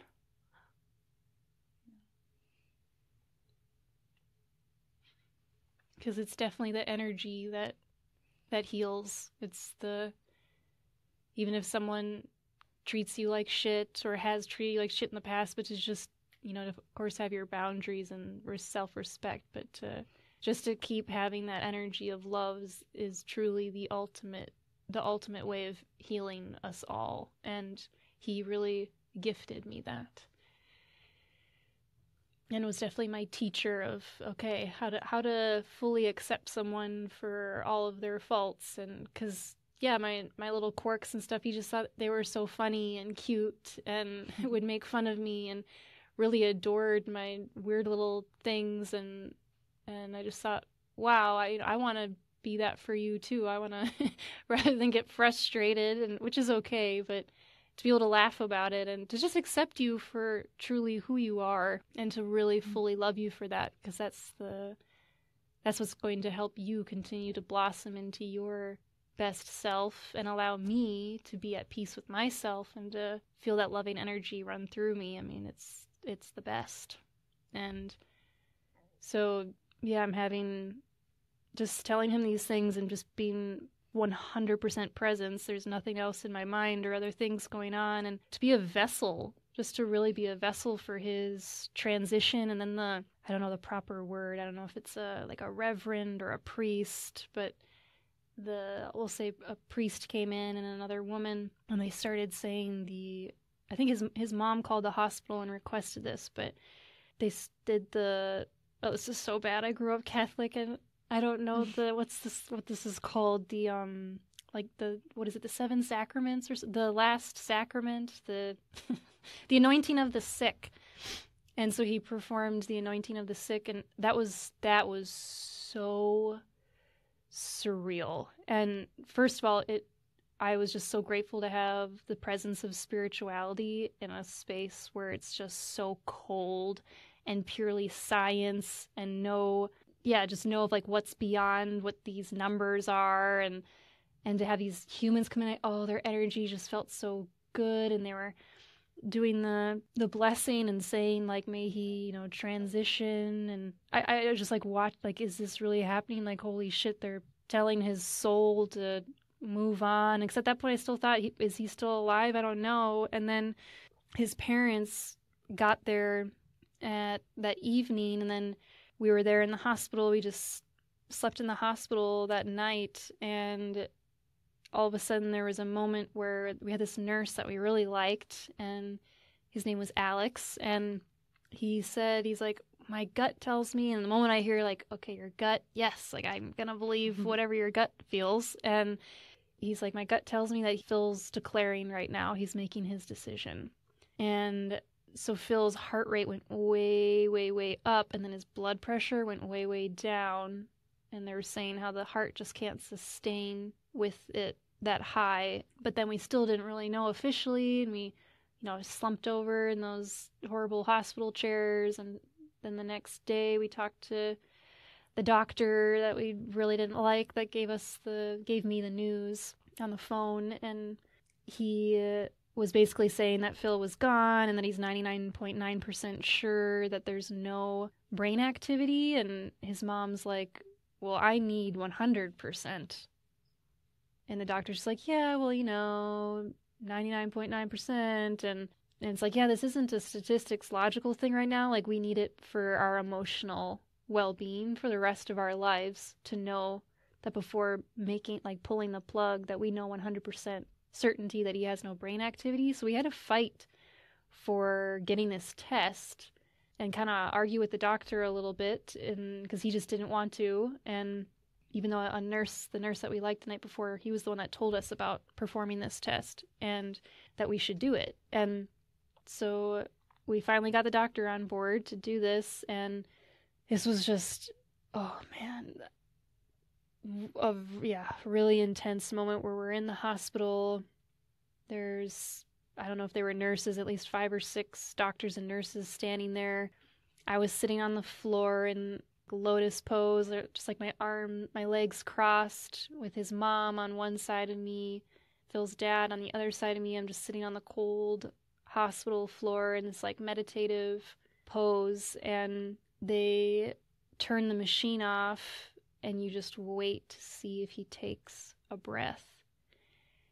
And it was at least like 10, I mean, it felt like 10 minutes where I was just, I just, I turned, I closed my eyes and just was, yeah, channeling this pure presence of a vessel 100% for Phil, for his soul to choose or be whatever it needs to be. And I was just giving him that full energy and that full channeled presence for his this huge part of life this transition this death that's a part of our lives. And and yeah we're just sitting there sitting there. The doctors are just staring staring staring for so long. And then they declared yeah he never took his breath. So at 12:30 on September 15th he was declared deceased. And they uh, actually let us be in the ICU with his body until Phil's brother and nephew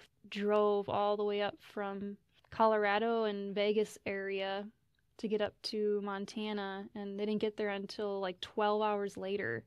So just me, his mom and dad were sitting with Phil's body and just watching it slowly die, which was really special to be there with his body, but also creepy and kind of weird. Like, you know, his skin started changing colors, and that definitely made me uncomfortable. And his body started to stiffen slowly, and I just started feeling nervous. Like, oh, what are his brother and nephew gonna see? Like, is this gonna just look really bad when they see him? And um, that felt stressful. And but yeah, just to be with Phil's parents, with Phil and his body for hours, laying there and to be making these decisions together. And oh and i had a fight too with the doctor to just to not give him morphine. They were just going to automatically administer phil morphine while doing the test. And i was like is that necessary? And the doctor's like well if you want him to be if that's what you want and to make phil be in pain. And i'm like well clearly he's not in any pain. And you said you were 99.9% sure that he was already dead. Why the fuck would we give him drugs? Like morphine? That's some intense shit and I was just so proud of myself for channeling what I know because Phil and I talked about death and we talked about that openly. And I know some of what his wishes were because we discussed that stuff. And I, I'm just like, I know Phil would want to be as conscious as possible for his transition in life. So he's not going to have morphine. And he's like, oh, well, if you really want to do that to him, I'm like, like the doctor's like, well, I would want to make sure I have uh, as little pain as possible. I was like, okay, well, if he shows any signs of pain, then give it to him. But it's that's just not necessary to automatically give him this really intense drug. And to be to just to be that person at my age like that's just something i picture older people to do. That's what older people are supposed to say or i i feel like I, that's you know i would be silent and let kind of grandma or grandfather figure be the one to say those things like the elders. And but no like that it was me that was this just saying in the moment what i really thought was best and and then to discuss with his parents like next steps and and that's when i had a moment too i I remembered that my dear friend Gabby, when her dad died, she was really upset about there being a Catholic service when her dad really wasn't Catholic. And so, although that was so unfortunate for her, and I know she still struggles with that, it was also a blessing for me that she passed on to me by telling me her feelings with that because I remembered her story and I wanted to make sure that Phil was going to get whatever Phil wanted and to be able to tell his parents that you know like I love your guys' faith and I respect both of your faiths. My favorite things about you they're both they're incredibly spiritual people and they've given so much to the church they've volunteered in jails and um, they've done marriage counseling through the church and they've just done so much good work and they're so accepting of people's different religions and cultures and to me what a like the definition of what a true Catholic is. And so I said to them, I was like, you know, Phil wasn't Catholic. So I just, can we not bury him in the Catholic way? And they were just so like, they're like, okay, yeah, we'll get them cremated. We'll have a Catholic service just for our own, you know, for what they need. And yeah, it was, we were just really on board with making these huge, crazy decisions. And right after Phil passed, his mom looked at me and she goes, You know what? I don't know if you're going to like this or not, but you will always be my daughter.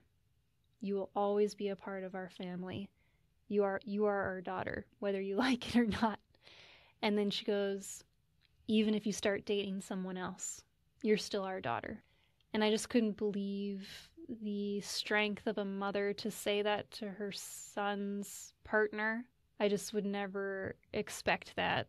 And through all of this, his siblings too, they're like, "Yeah, you, are our sister," and you know they're just like this crazy, loud Italian Croatian family. so they're like, "I don't know if you like that or not about us, but uh, I don't know if you're gonna want this, but you, you know you're a part of our family now." And I was like, "I love that," and it's you know with the loss of Phil, I really have gained his family still, and I don't know, maybe I'll just kind of end there and see if you have anything to say about anything. Yeah, thank you for sharing. I was just deep in that with you. Um, the thing that keeps coming to mind is that beautiful video that you made of him and oh yeah just just truly i mean i i didn't know him that well but just a jack of all trades i mean it's just incredible what he has done, what he did in his lifetime. Yeah, for anyone listening, I'll I'll link the YouTube clip in the notes of the this video that I spent endless hours on. It's a 40 minute video that captures Phil's life, just all this stuff, all this his travels and all the stuff he built around the house and all the woodworking he did and his gardening skills and it's yeah, Monica, when you came here to take care of me if, about just over a month ago, uh, we watched that together. And I remember you saying after how you were just like, wow, like I feel so inspired to live. And he just really lived a wholesome life. Yeah, it was incredible. Just what he, like one clip, he's just fixing something and then he's, oh, like he literally did everything. I know. I was like, what does this man not do? Nothing.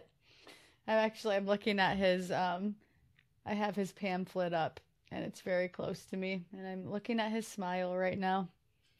And mm. yeah, I just I get I think again just passing away um a little too early, but also at the same time it's like look what he's done and like you said he f- literally found the love of his life and he lived every day just consciously and I mean what more what more can you ask for in life so but thank you for yeah just walking walking us through and sharing all of that I feel like we could talk for another like 5 hours I know yeah we only have about 15 more minutes left. So I, I really want to still talk about, I don't know, just like the feelings or the challenges or things that have come up in these past couple months. And one of one of the questions I wanted to ask you was, what has your journey with death taught you about humanity? So, like, what has your experience what you went through with Mike passing, what did that reveal to you about our human experience? Hmm. Huh. That's a man. That's a good question. I feel I'm just gonna s- see what comes up.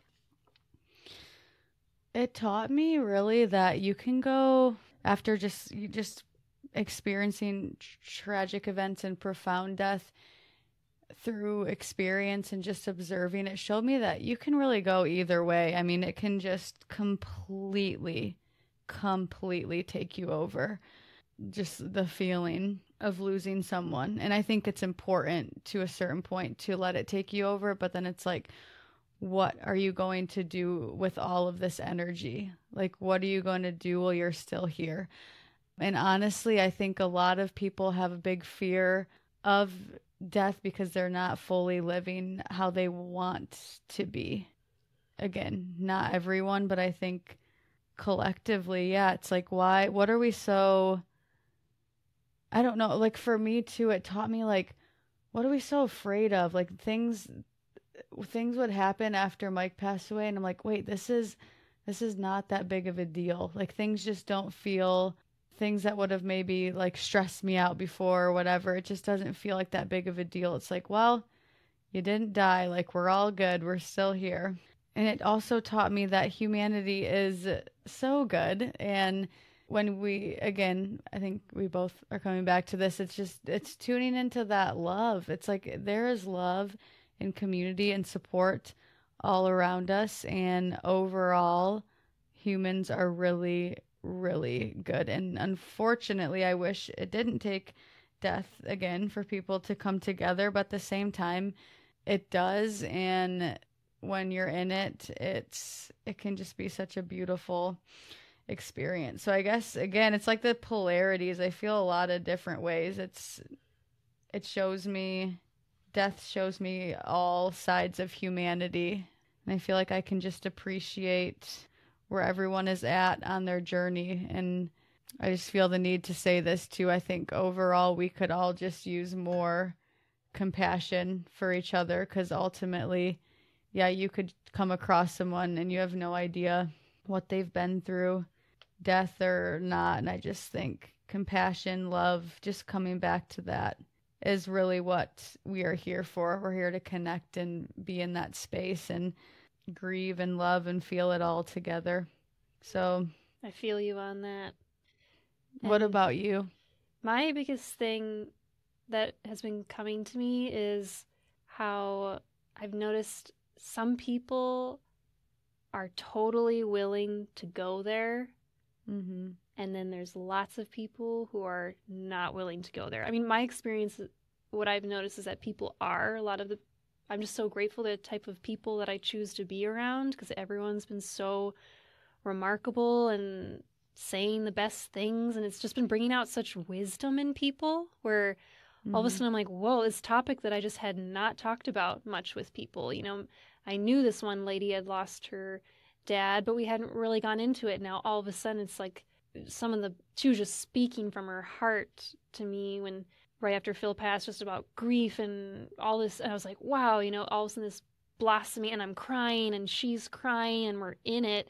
Or I got myself to go to my friend's wedding in small town Wisconsin, and he was so supportive, where he's like, you do not have to come.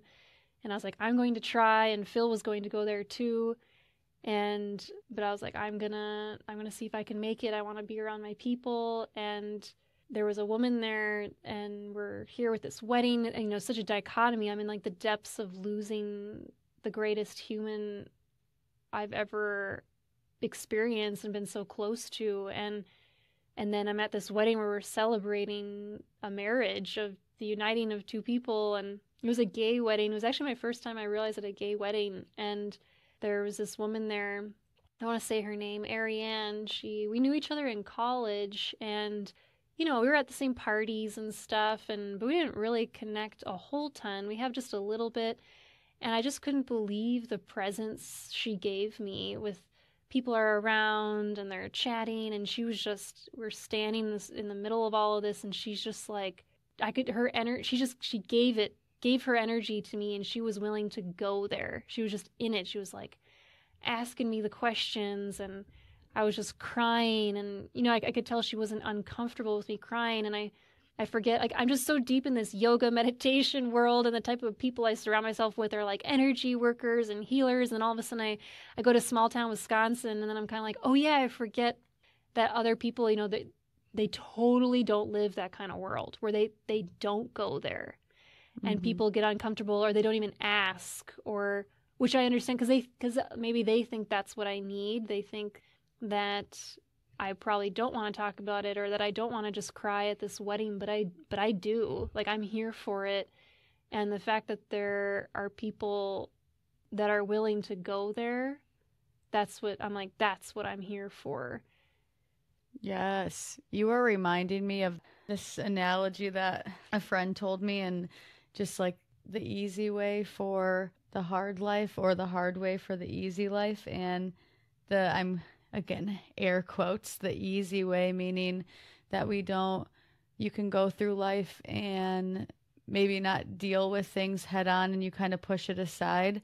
And ultimately, that makes everything feel harder. Or you go through the hard stuff, the grief, you, you go there, you go to the depths of yourself. And when you emerge out of that, it feels a little bit easier. You feel ease in life overall because you went there. But yeah, I would say I would say more than I would say most people just don't go there with themselves. It's just there's a lot of fear and we were just talking about this the other night, maybe shame behind feeling so deeply, but I think it's beautiful. And yeah, when you come around and you open up and you share your story and you meet incredible people like that woman at the wedding and you're able to connect, you just get reminded, like, oh, yeah, this is what we're here for. This yep. is it. Yeah, every time I've been pushing, that's been my greatest goal.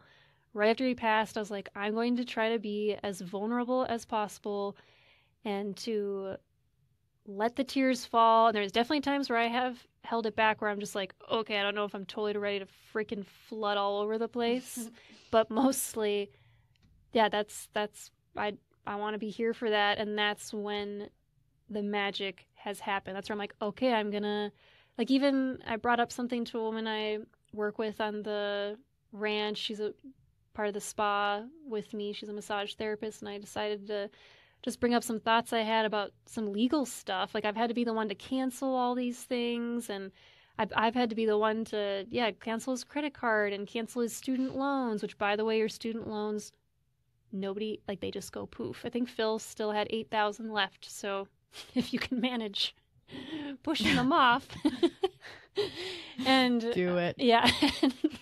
um, nobody's responsible for that and yeah, just other I I was asking her kind of a legal question. She's like, "Oh, I know these two law- two of my friends are lawyers in town, and I'll just text them and ask them." And uh, she texts them, and they responded back this nice detailed thing for free. You know, just that made me feel better about a few things I had questions about. I'm like, wow, I'm just because I at first before I said it, I was like, she probably doesn't know. She's younger than me. I'm like, she probably doesn't know shit about legal stuff and like who knows these terms, you know? Like these this is all new to me. I didn't know about death certificates and what an estate is and beneficiaries and these terms I just have never had to deal with and I decided to bring it up to this woman that was asking me and, and she totally knew the answer and helped me out and reached out to these lawyers for me and then responded back to me that same day of like, hey, this is what they said.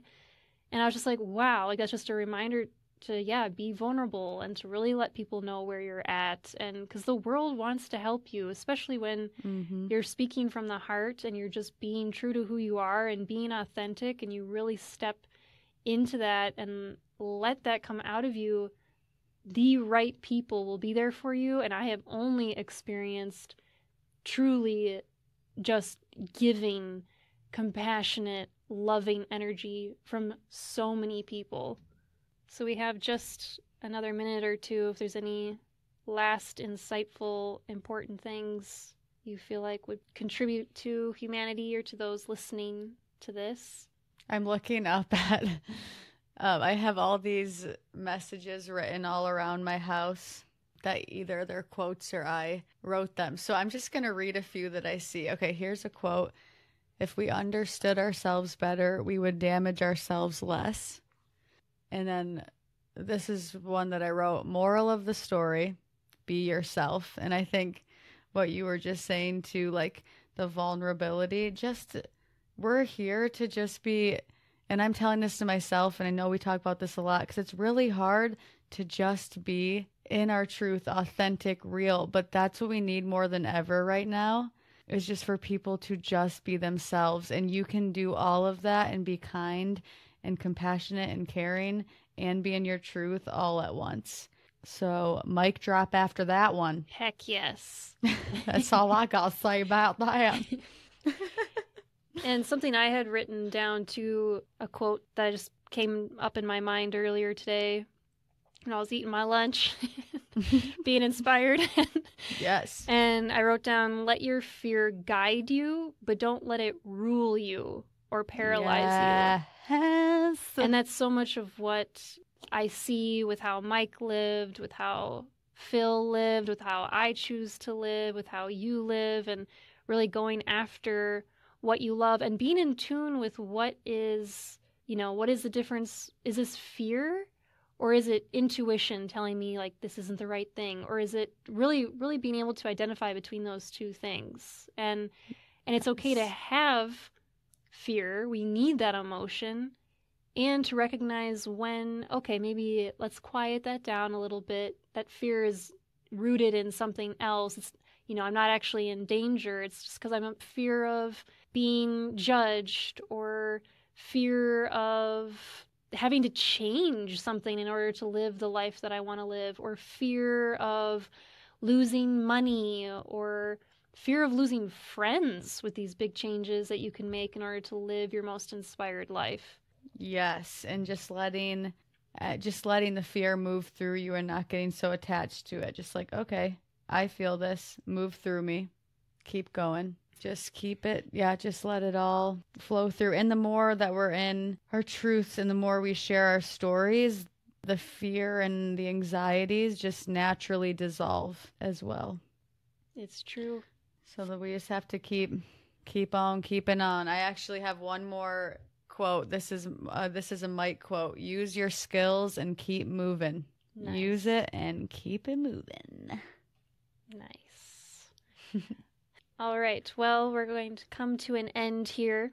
Monica, is there a place where if people are interested in you and what you've got, can they follow you on social media or where would you want people to find you?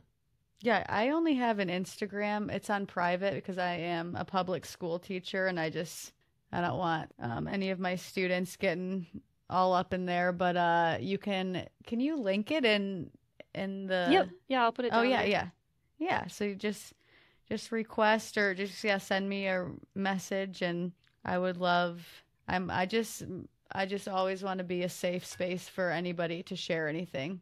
So if you have anything to add or to share, I am here for it, and that's the best way to reach me.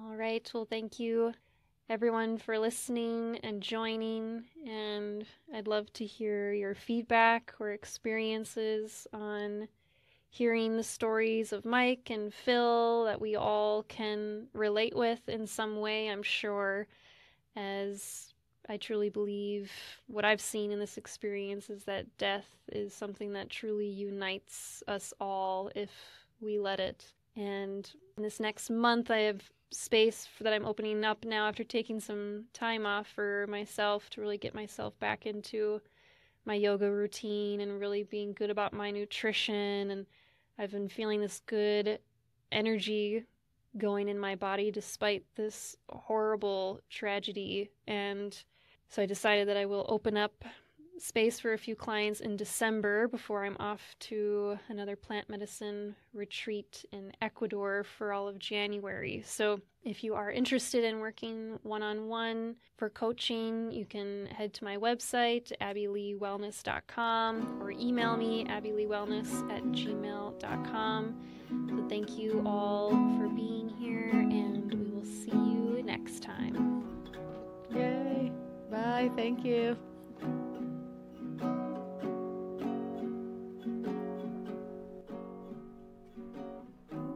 Thank you, Phil, for teaching me humility, for teaching me how to hold myself accountable for the way my words and actions affect others, for teaching me how to treat the soil and the land, and for being an example of not letting a medical diagnosis stop you from living the most fulfilled life. The moment you were diagnosed with this supposed disability with seizures, you decided to see the world and make a positive impact, and you frickin' did it. And I know regret can be a very normal feeling for people with such a loss, but with you, I've felt no regret so far.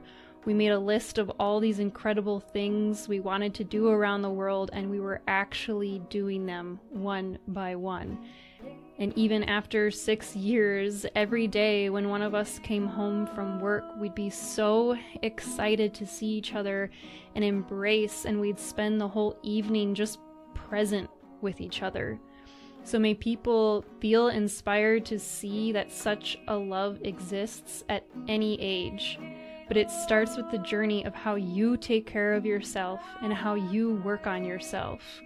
And even though this ended suddenly and it hurts so bad, I will never give up on love.